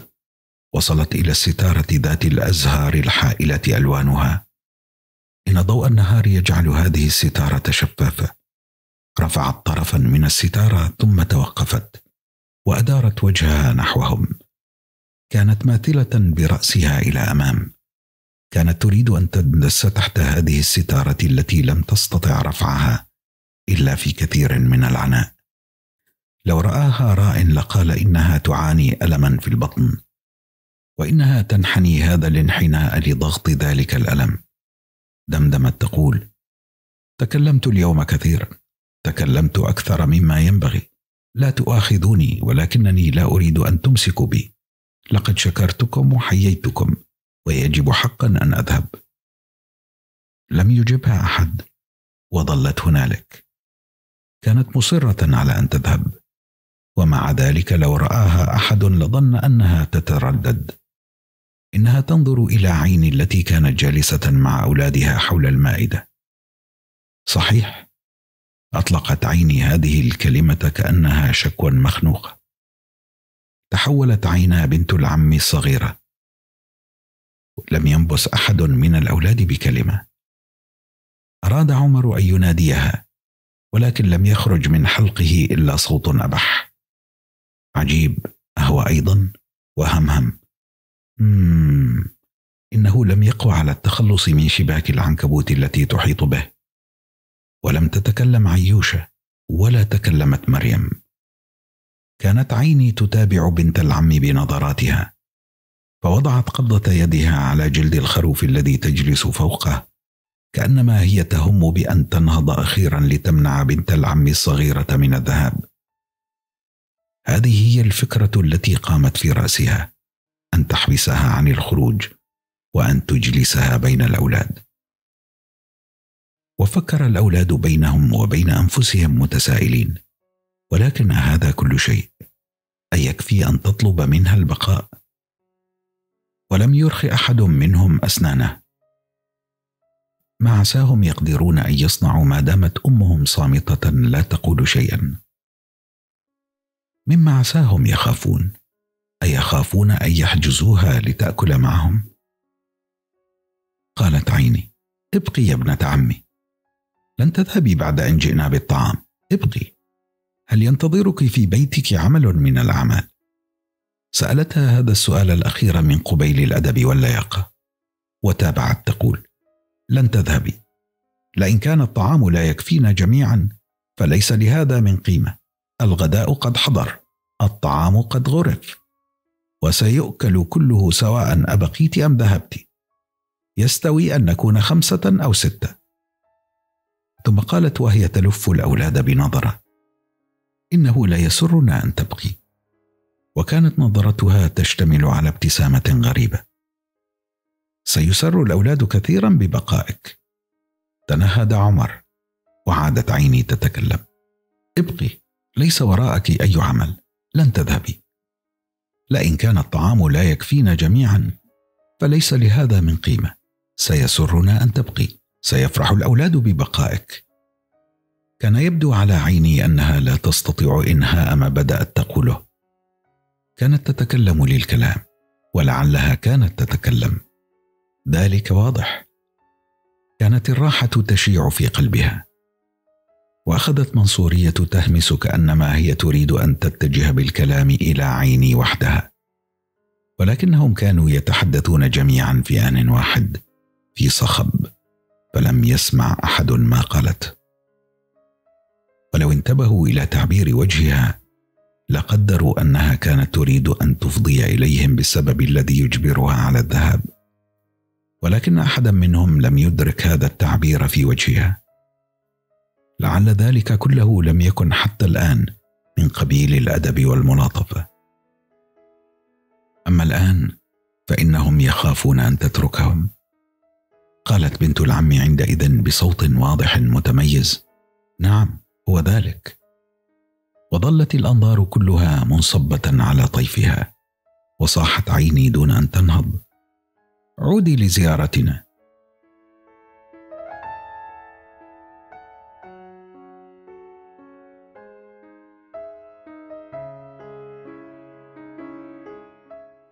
الفصل الرابع والعشرون كان سكان دار سبيطار قد سمعوا صوت صفارة الإنذار عدة مرات متتالية خلال الأسابيع الماضية. كانت صفارة الإنذار هذه تجرب باضطراد، وقد قيل لهم إن الحرب ستندلع. لا شك أن الحرب ستندلع. لقد ألفوا في دار سبيطار هذه الفكرة. وكانوا يتحدثون في الأمر في كل مناسبة.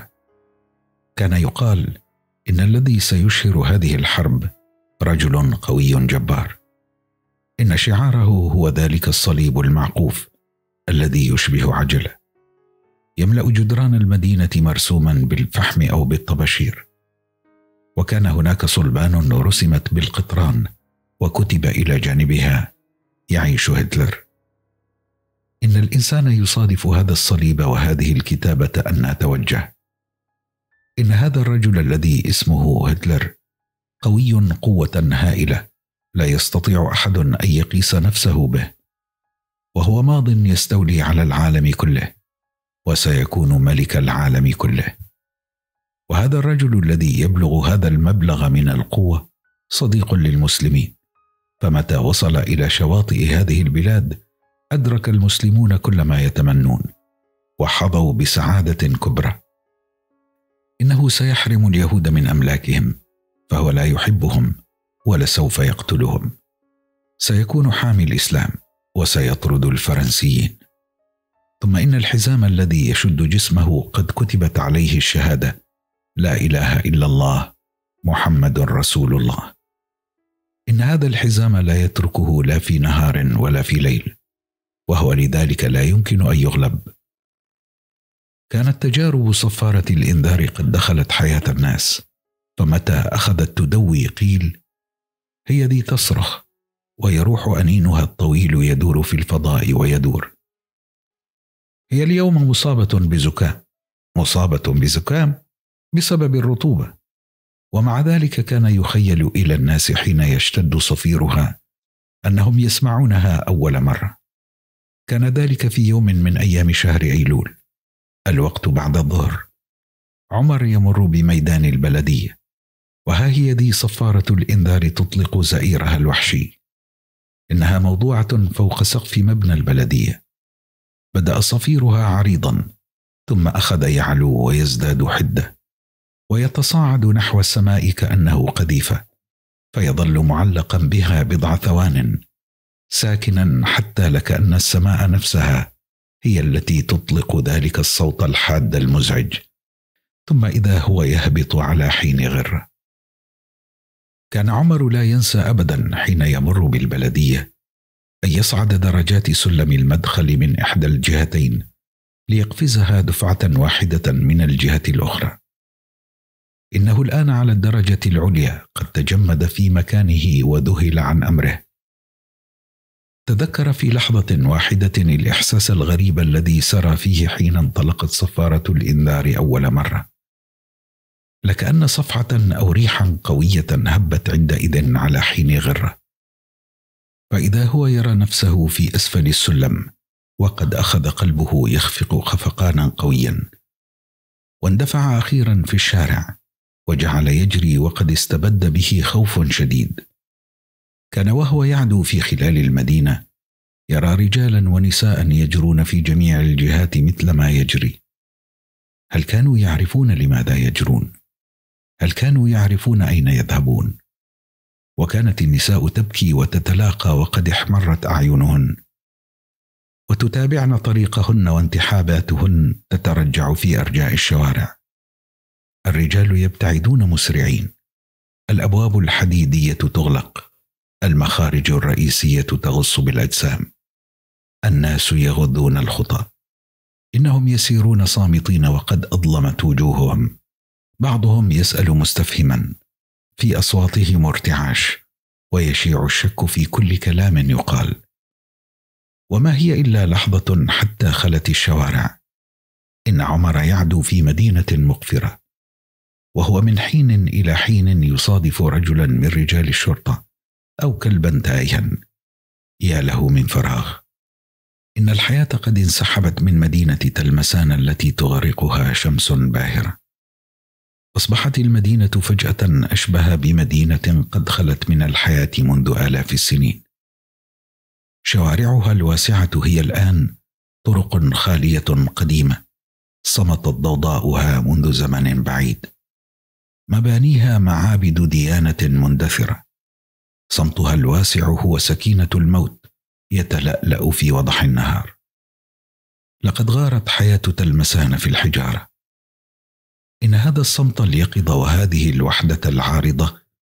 اللذين جاء بعد ذلك الاضطراب الأول يحملان إلى عمر أصداء مهددة.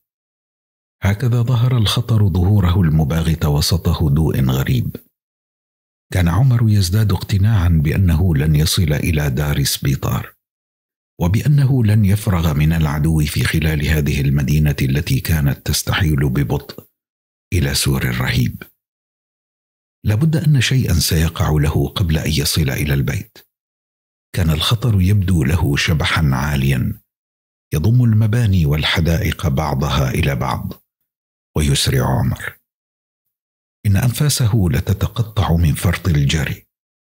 إن الشبح الضخم يلاحقه في وثبات مفاجئة متقطعة.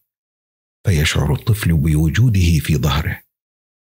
إن الكارثة التي استدعوها بهذه الصفارة قد وصلت أخيرا. ووصل عمر إلى دار سبيطار ودخل مسرعا. فلما صار أمام أمه استلقى بوجهه على الأرض واستطاع أخيرا أن يجهش باكيا وقد أخذ جسمه يرتعش ارتعاشا شديدا. فتناولته عيني بين ذراعيها وشدته إليها. فإذا باضطرابه يهبط فجأة. إن فراغا مريحا يستولي عليه الآن. هو ذلك الفراغ نفسه الذي كان يشعر به منذ قليل. أخذ عمر يصغي إلى دقات قلبه السريعه وانتظر قليلا ثم أخذت عيناه تنفتحان شيئا فشيئا. إنه لا يجد نفسه على حدود بلاد عجيبة. إنه يشعر بأنه يستيقظ من نومه. لم يبق لشيء من قيمة. كأن العالم قد تمزق بزئير ذلك الوحش الذي لا وجه له. هي نهاية العالم.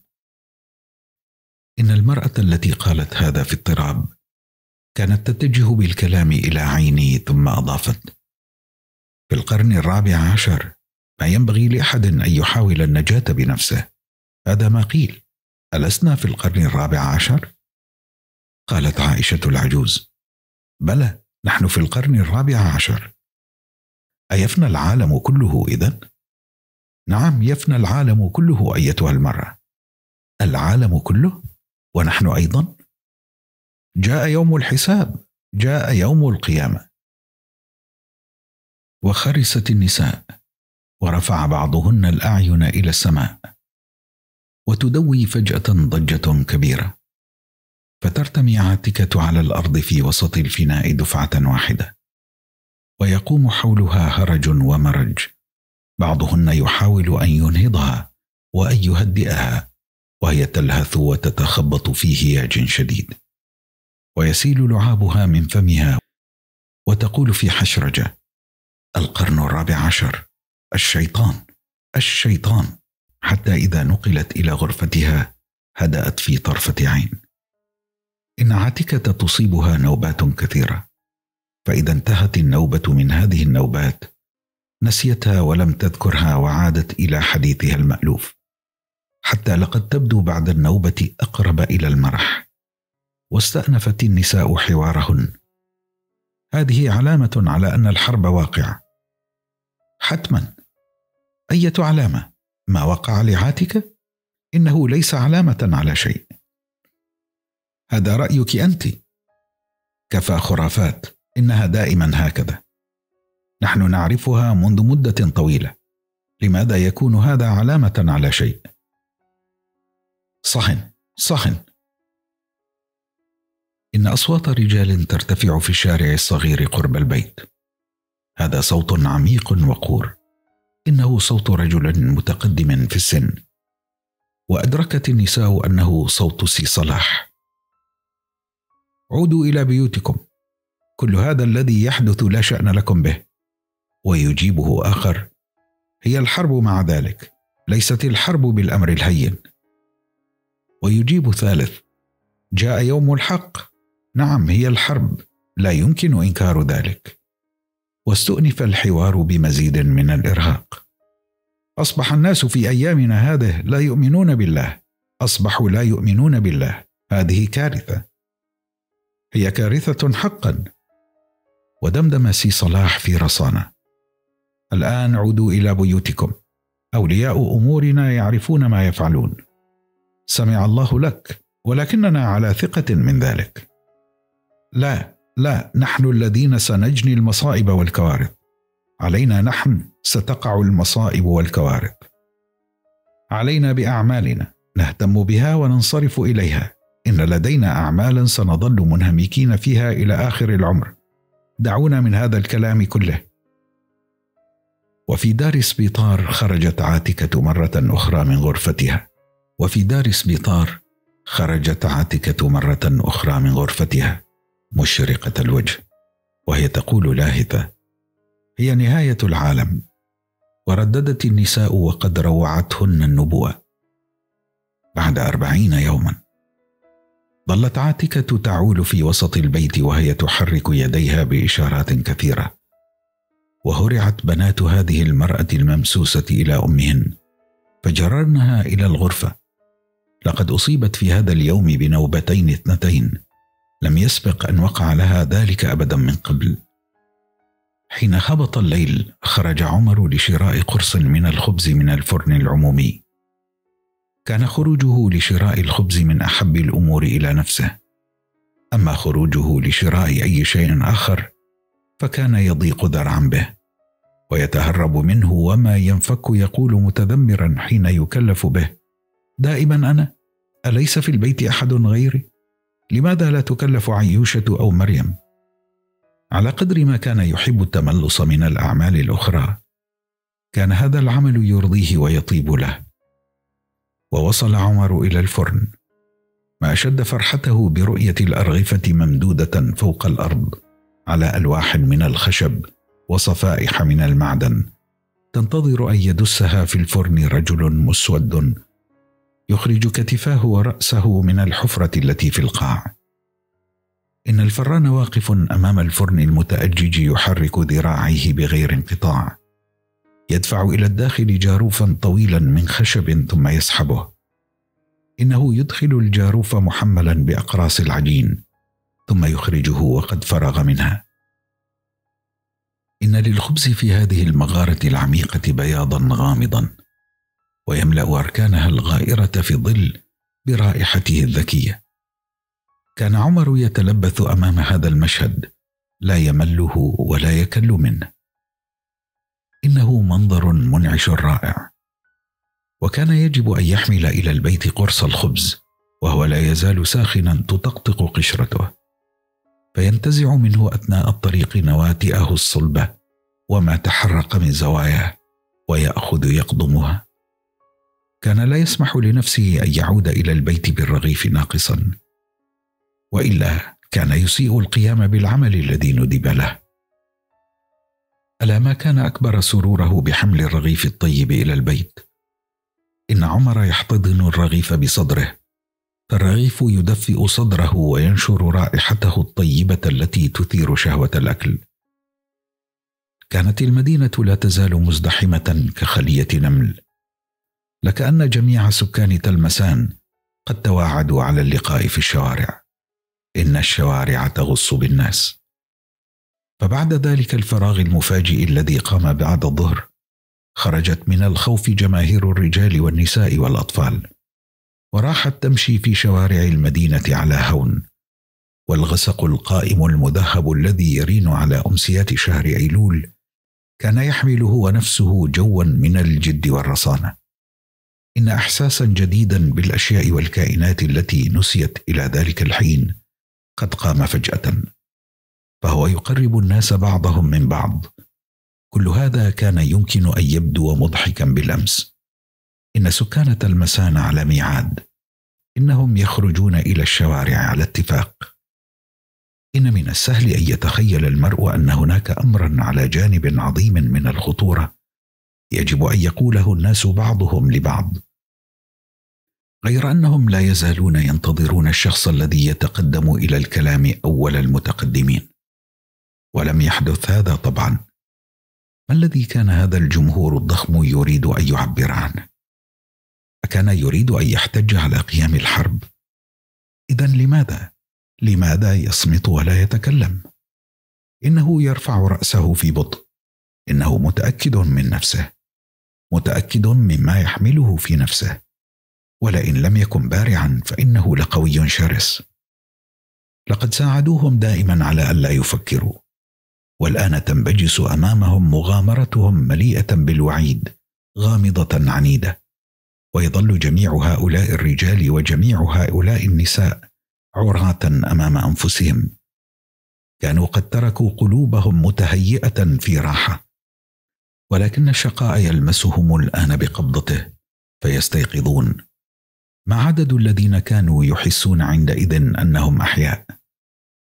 ها هم اولئك يأخذون يضحكون من هذا اللقاء رغم أن مرارة لا تزال في أفواههم.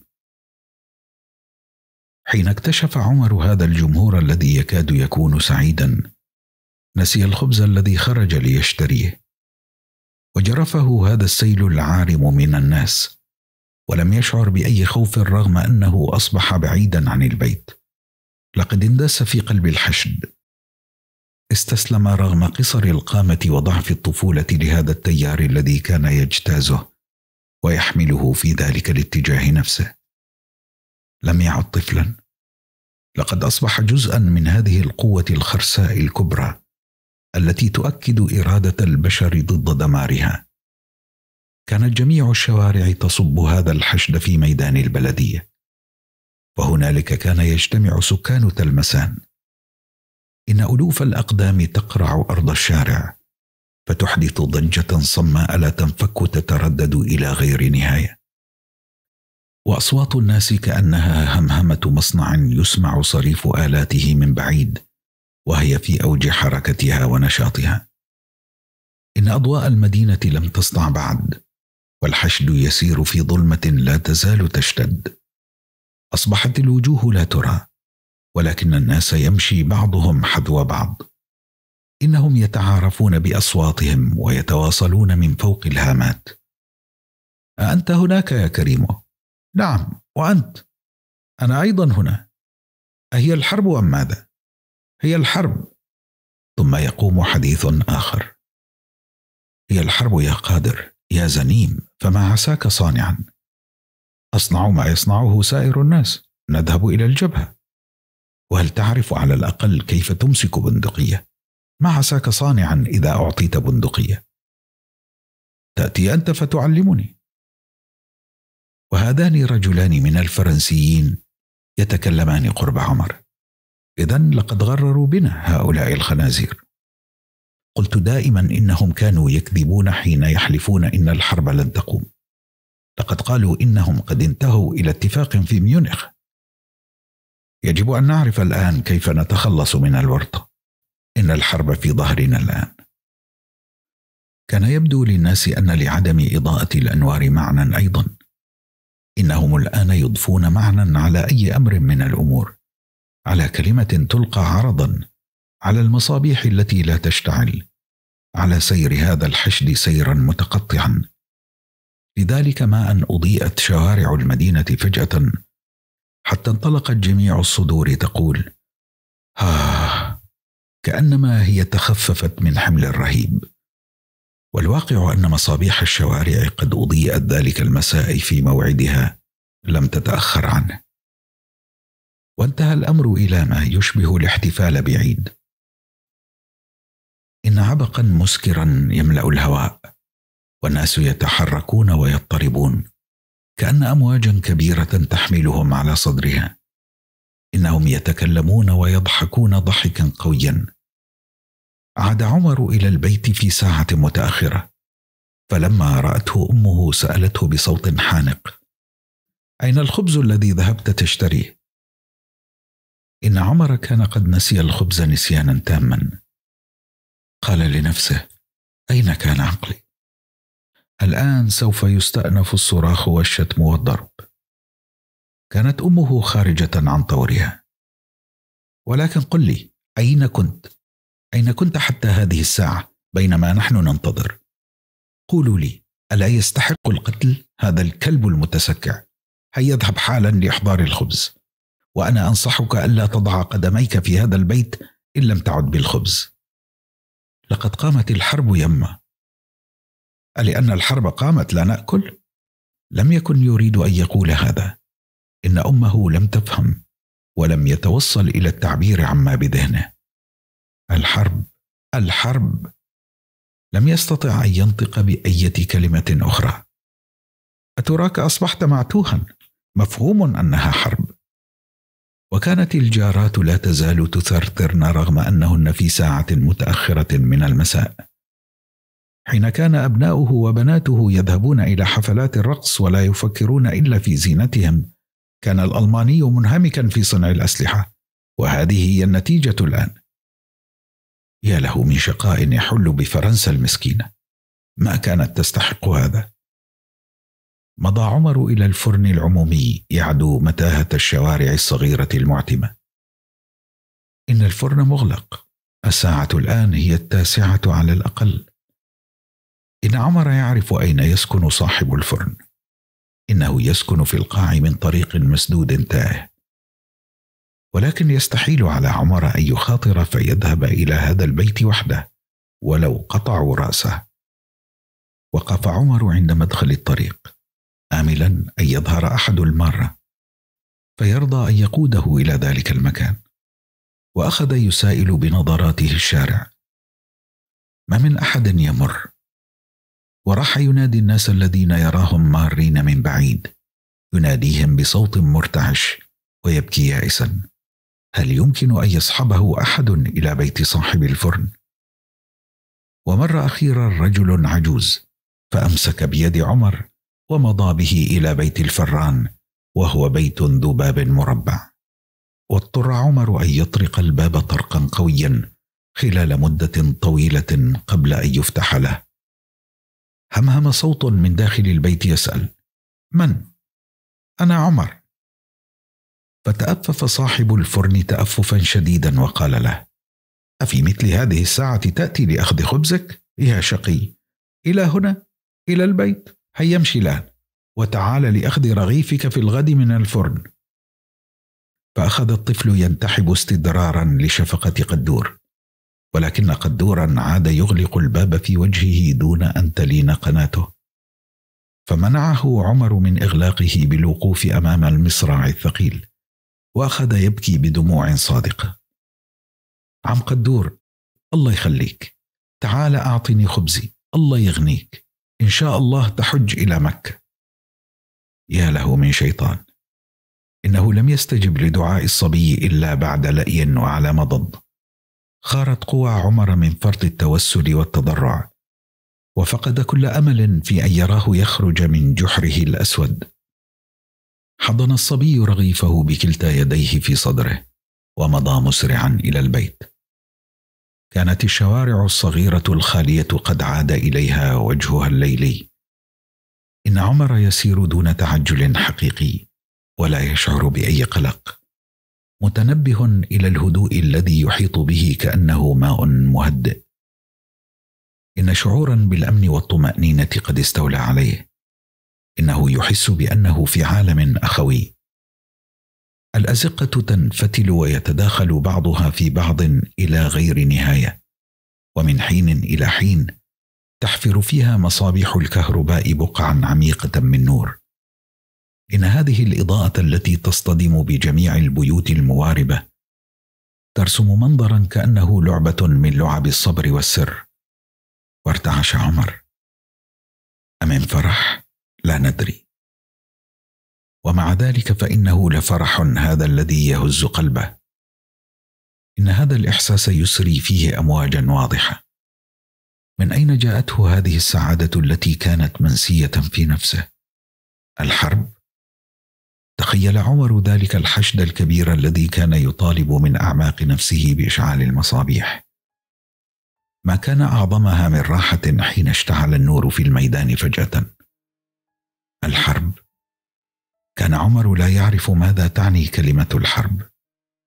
إن الحرب وشيئا آخر كانا يشيعان في قلبه فرحا خفيا.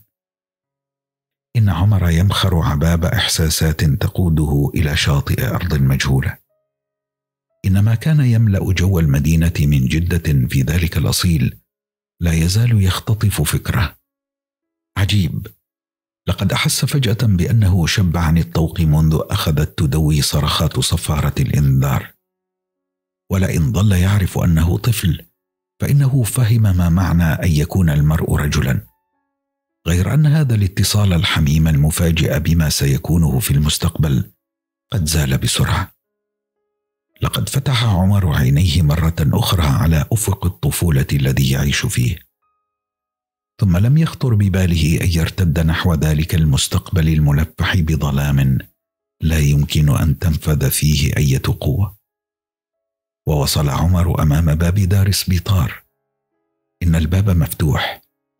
وصاح عمر بأعلى صوته ينادي أخته. عيوشة! عيوشة! وابتلع فم الظلام الكثيف العميق نداءه. انتظر عمر ثم نادى مرة أخرى. عيوشة لماذا لا تأتين؟ أنا هنا. وانقضت بضع ثوان ثم سمع الصبي وقع خطى قدمين عاريتين على البلاط. قالت له أخته من آخر الدهليز أدخل. حمارة ألا تسمعين حين تنادين؟ وأنت أيتها البنت الصغيرة. هل من الضروري أن تأتي امرأة لتقودك؟ كفى غبية. وانطلقت ضحكة صغيرة في الظلام كأنها شرارة. وقالت عيوشة ساخرة انظروا كيف يجيد إصدار الأوامر. يا له من رجل. وحين صار عمر في وسط البيت شعر براحة. إن الضوضاء الحية التي تحرك دار سبيطار في أول الليل تصل تصل إلى عمر من الحجرات المنارة. ودفع الصبي أخته دفعة مفاجئة ماكرة فجعلها تتراقص وتتواثب في فناء البيت. ثم سار نحو الغرفة. ها هو ذا يزيح ستارة المدخل ويمد قرص الخبز إلى أمه. قالت عيني عفريت. أدرك الصبي ما يختفي وراء هذه الشتيمة من حب وحنان. فابتسم وقعد مع القاعدين أمام المائدة. وأخذ يراقب أمه وهي تقطع الخبز على ركبتها.